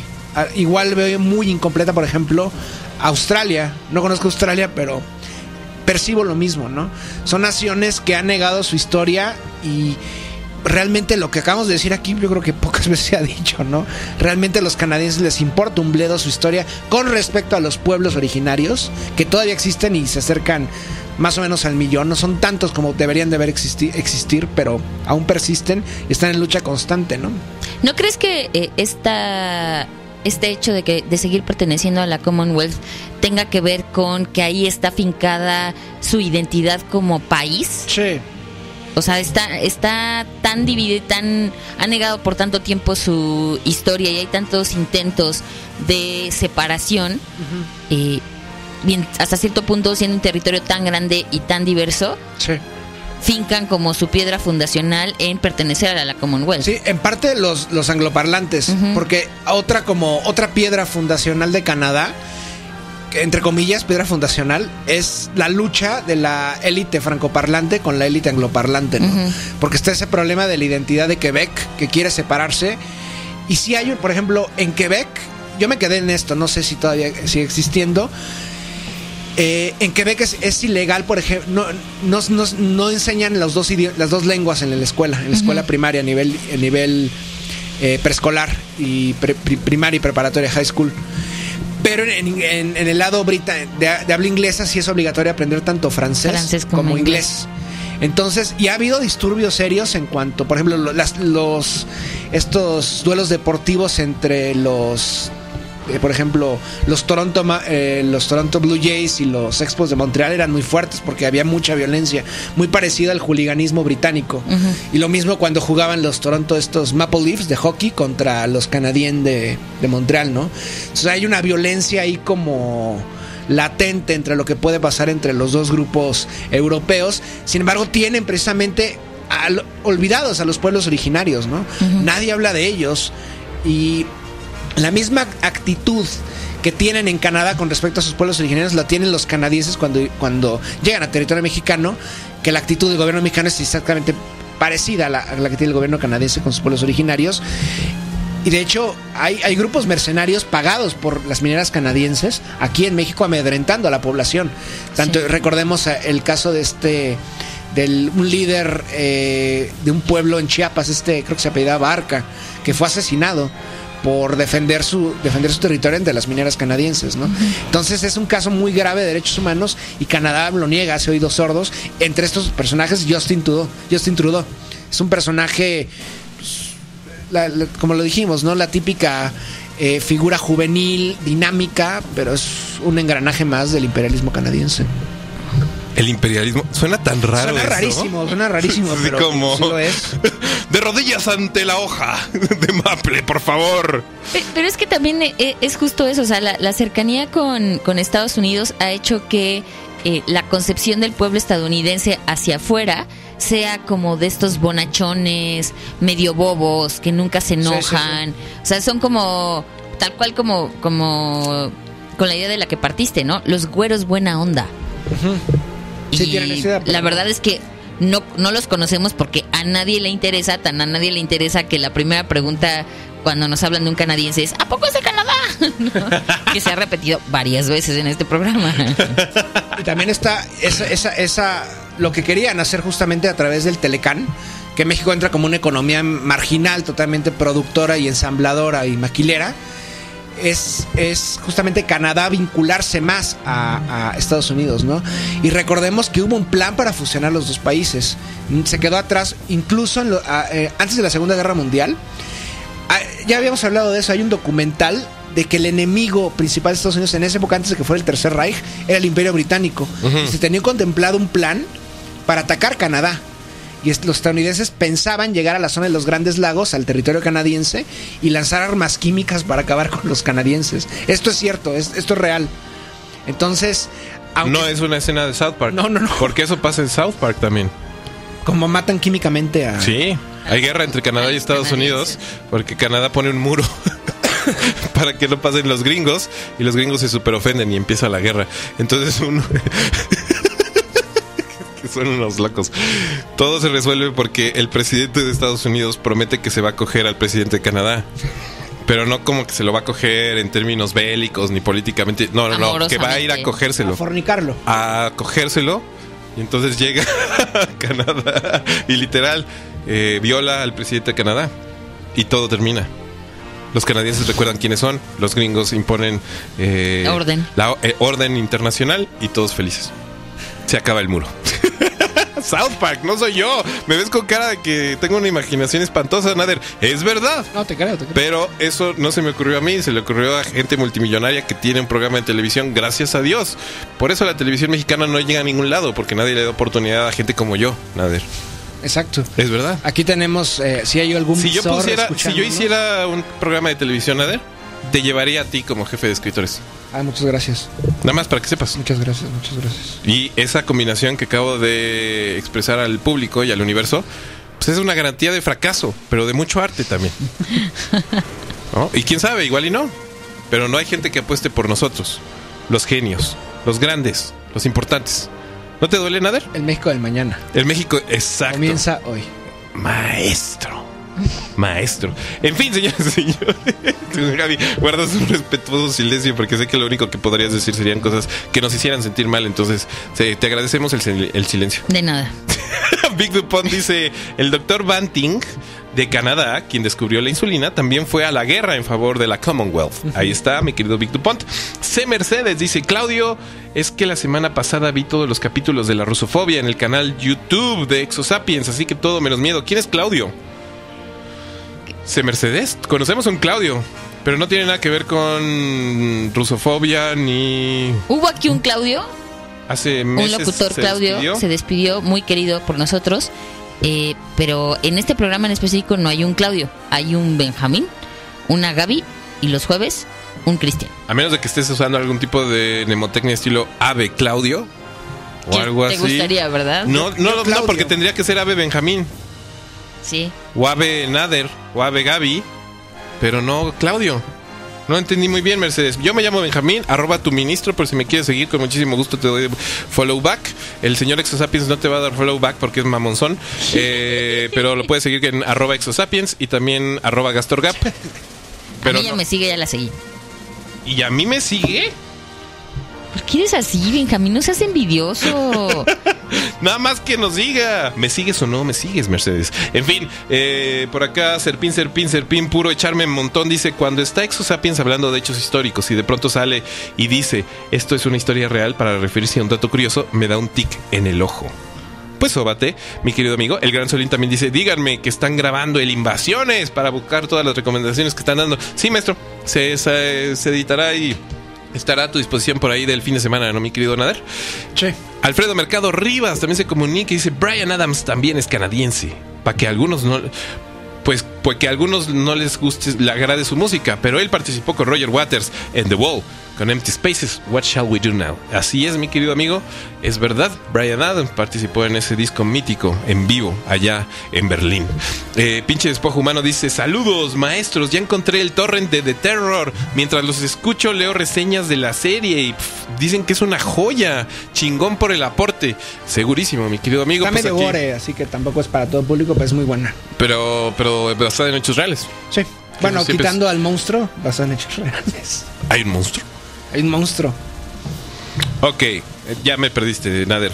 Algo ¿Cómo? totémico de los Inuit, ahí muy interesante, chamánico, muy interesante. Ah, ok. Pe- pensé que era una cosa así muy puntual, estilo eh, la miniserie de la biografía de John Adams. No, no, no. Es, es, es muy fiel ver, por históricamente, cierto. pero suponen, construyen una historia de todo lo que pudo haber pasado con un elemento Ah, sobrenatural. ok. Ah, qué bonito. Ah, pues la vamos a buscar. Martín Chavalmón. Mira, se- Gaby, tú y yo, que yo- tú, tú y yo estamos bus- buscando adoptar una serie. Después de que se nos acabó. ¿No vimos la segunda temporada de, De Nick. de Nick? Tenemos pendiente Homeland. Tenemos pendiente Homeland. pero Es ya muy mala tenemos. Homeland. La, Ah, la- cállate, cállate. Te voy a cerrar el micrófono. La te voy a séptima cerrar el temporada. ¿O cuál? ¿Cómo vas a No decir que es mala? no me gustó. Nah, de hecho, es vi que, las dos. es que no lo ves con el corazón, lo ves con el cerebro, Nader. La israelí y la gringa. No me gustó. No, es que tú tienes muchos intereses. Ay, tú tienes sí. muchos intereses en esa serie. Tú eres antisemita. No eres anti- no sé si seas antisemita, la verdad no me importa, pero eh, pero no, Nader, vela con el corazón. Vela, entrégate no desde eh, los errores, sino desde los aciertos. Se vale. Chaval. No lo pongas en un lugar, pon- piensa que es una mujer esquizofrénica resolviendo crímenes. Ahí está, ¿Tenés en un contexto muy esquiz- No específico. puedes, no, no, pude- no puedes haberla visto y no saber que tiene esquizofrenia, Nader. No, recuerdo, mames. Recuerdo que era esta. que era una- bueno, que es del presidente este que se, que se. Perdón, presidente, es un ex militar que se convierte. ¿O me estoy confundiendo? No, sí. Sí es esa, ¿no? Sí, pero. Es que- militar, pero no es de la CIA. Bueno, pero los voy a también spoilear, es. los voy a. Sí, sí. Éntrale, Nader. Éntrale. Al spoilo. Sí. al spoilo. Aparte, no dice cosas que no sepamos. Todos los árabes son malos. No, por Dios. Eso es Homeland. Te Eso es invito a que te Homeland. cierres el micrófono. Te voy Sí, es, es una serie muy tendenciosa, pero es de verdad muy entretenida. Y, y sí te pone los pelos de punta. Ándale, Nader. Hazlo por nosotros. Nosotros bueno. hacemos un montón de cosas por ti. Yo veo tus películas, veo tus, escucho tu música. Ve a... ah, le Homeland. recomiendo otro grupo canadiense. A ver, Eh, Venetian's Nurse. Venetian. Es un músico, de hecho, un productor. Es como onda Apex Twin, medio IDM bizarro, monstruoso, increíble. Eres un gran conocedor de música electrónica, Nadir. Sí. No lo veía venir bajo ninguna circunstancia. Y esa, esa, esa banda sonora que con el Venetia's Nurse eh, lo pueden ir viendo películas de Cronenberg. Pero eh, es que yo siempre ca- catalogo que hay tres fases de Cronenberg. La primera, que es para mí la mejor, con The Brood, con eh, todas las primeras cintas que filma en Canadá, en solo canadiense, con muy bajo presupuesto. Shivers, por ejemplo, Scanners, hasta The Fly. Y ya la siguiente fase de Cronenberg, que es un poco más light, con esta... eh, Con Crash. Sí, sí. Ajá. Bueno, digo, si tú ves- Con Easter Promises. Está, está- está leve. Si tú ves las primeras películas de zombies sexuales y una mujer que, que pare eh, a, a unos niños a partir del odio que siente al marido, Los famosos Cronenbergs que después es- conquistaron el mundo de Ricky Morty. ¿No sabes qué es Ricky Morty? sí, sí, sí, es una, es una caricatura. Sí. ¿No la has visto? He visto y es divertida. Son muchos homenajes a cintas ochenteras y cosas así, ¿no? Sí, ¿Por qué la criticas como si fueras un sociópata, Nadir? No, porque- no lo eres. Tú tienes un corazón amplio, enternecedor en muchos sentidos. Hay también la- las cintas de Brandon Cronenberg, el hijo de David Cronenberg. Ok, mira, hagamos algo. No veas Homeland. No Está bien, porque te va a afectar. ¿no? Rick y Morty lo he visto. Y te va a encabronar. Rick y Morty Ve Rick Morty, pero disciplinadamente, capítulo tras capítulo, hasta terminar. ¿De acuerdo? Ok, ok. Eso es lo único que te voy a pedir el día de hoy. Ok, ¿Va? venga. Ok. Ok, es mi Listo. tarea. Es tu tarea. Y lo platicamos la próxima semana. Sesión. Sí, por favor. Martín Chavalmón también dice, disculpen la falta de comunicación, FM, tengo bastante chamba, pero no dejo de escucharlos. Mi total admiración al maestro Exosapien siempre Gracias. me demuestra que cuán ignorante soy.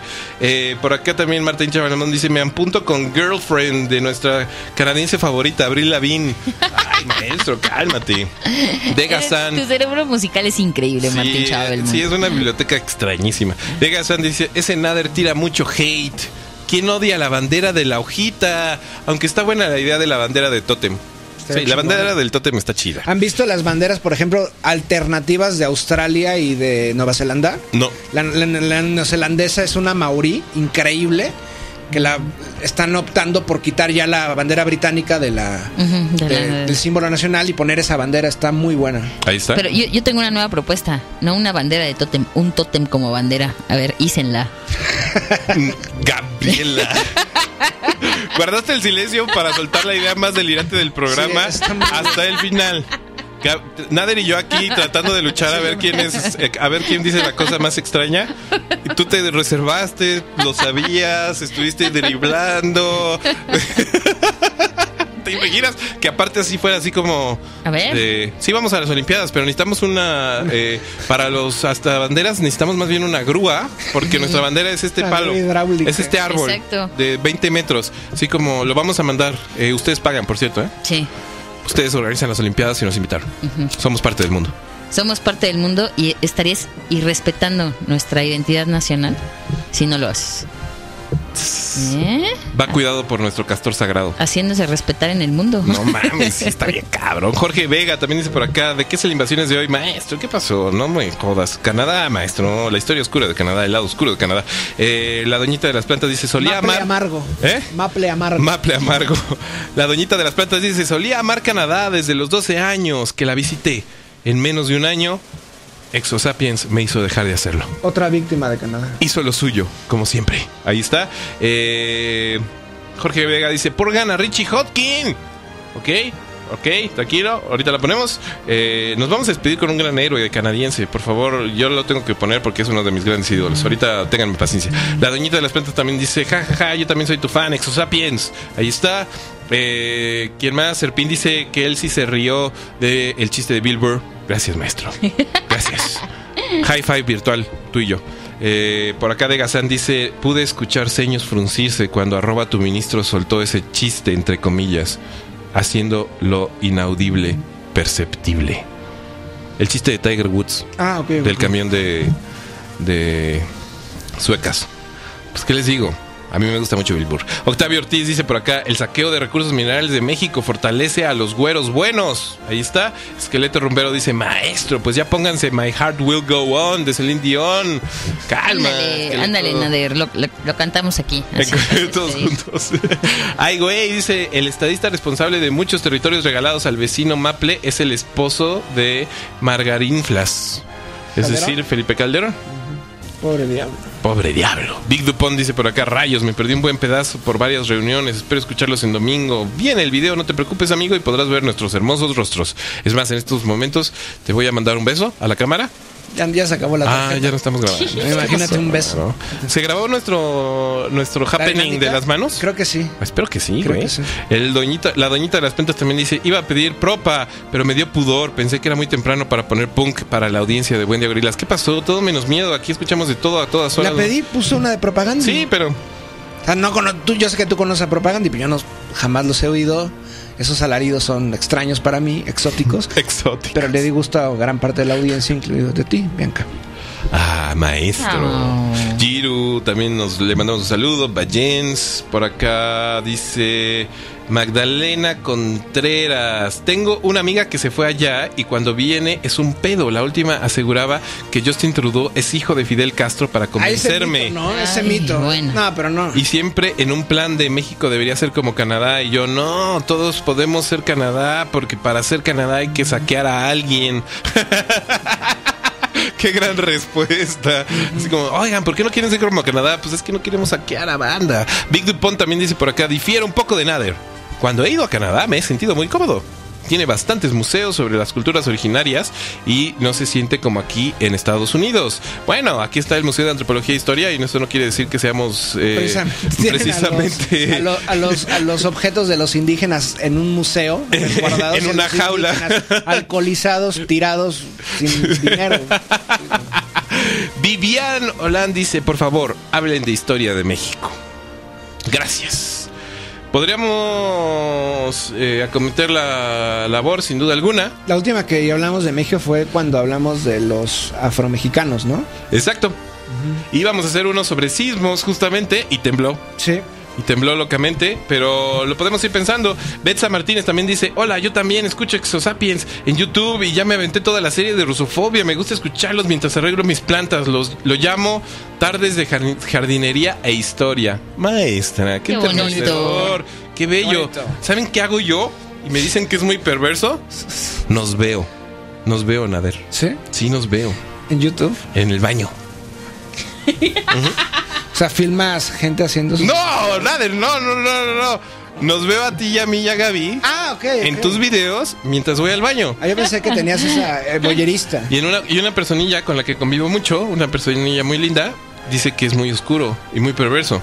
Porque me río de nosotros y disfruto de vernos. ¿Tú nos, ¿Tú nos ves? Bueno, tú nos ves mientras lo, lo editas, Lo pero Ya después... después, rara vez. Solo cuando tengo alguna duda o quiero hacer alguna corrección porque es cansado. Yo digo que es que estoy enamorado de ustedes. Muchas gracias. No de mí, de ustedes.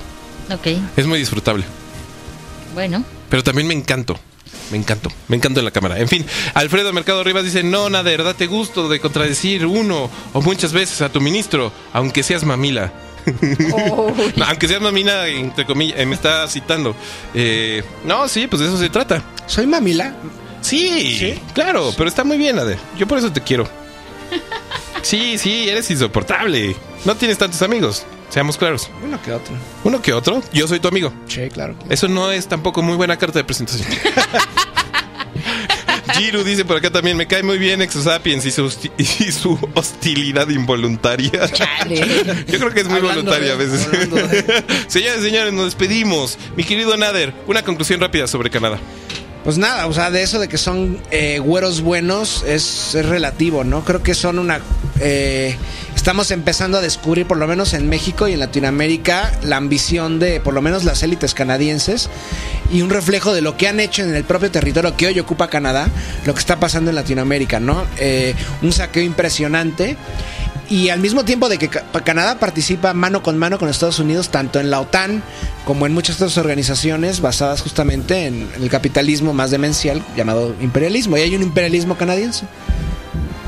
Infer- imperialismo canadiense. Sí, sí, sí, lo hay, tal cual. Bueno, pues muy puntual la conclusión. Muy rápida, muy contundente.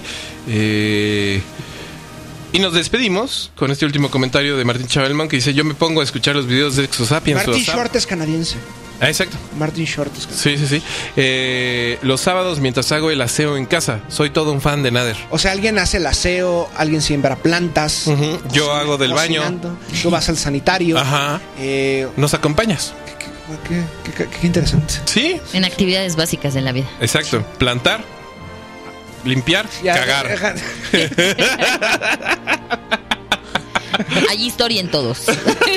y todos se acompañan de historia. Señores, señores, estuvo muy divertido el programa, pero tristemente se tiene que terminar. Son las doce y media. Comienza la discada. Nos despedimos. Muchas gracias, Gaby. Muchas gracias, nos escuchamos mañana. Muchas gracias, mi querido Nader. Gracias a ustedes. ¿De qué va a ser la próxima invasión? ¿Lo vamos platicando? Vamos platicando. Ok, perfecto. Bueno, pues nos Que la, gente que, la gente que nos escuche que haga sugerencias también, ¿no? Bueno, llegó una sugerencia de México, pero sí los invitaríamos a que en estos días nos vayan diciendo de qué quieren su invasiones de la próxima semana.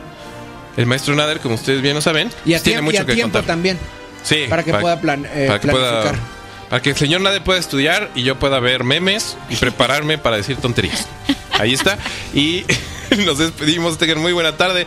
Esto es 9FM y por mi parte solo quedan decir dos cosas. Va por Juana, va por Emilia y sigan siendo verdes, sigan siendo rojos, sigan siendo amaplados, porque el mundo necesita gente como ustedes. Hasta luego, tengan muy buena tarde. Esto es 9FM, todo menos miedo. Y nos despedimos con mi gran héroe canadiense, el señor Neil Young, Yeah. Ah, bueno. de una estepa oscura y fría. No pusimos a Leonard Cohen.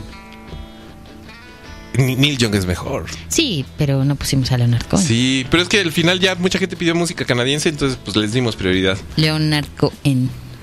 Vamos a formar a Leonard Cohen, vas a ver. Después de este himno que se llama Down by the River del señor Neil Young, en el que está básicamente inaugurando la era de el solo loco en el rock and roll, todo menos miedo. El solo loco.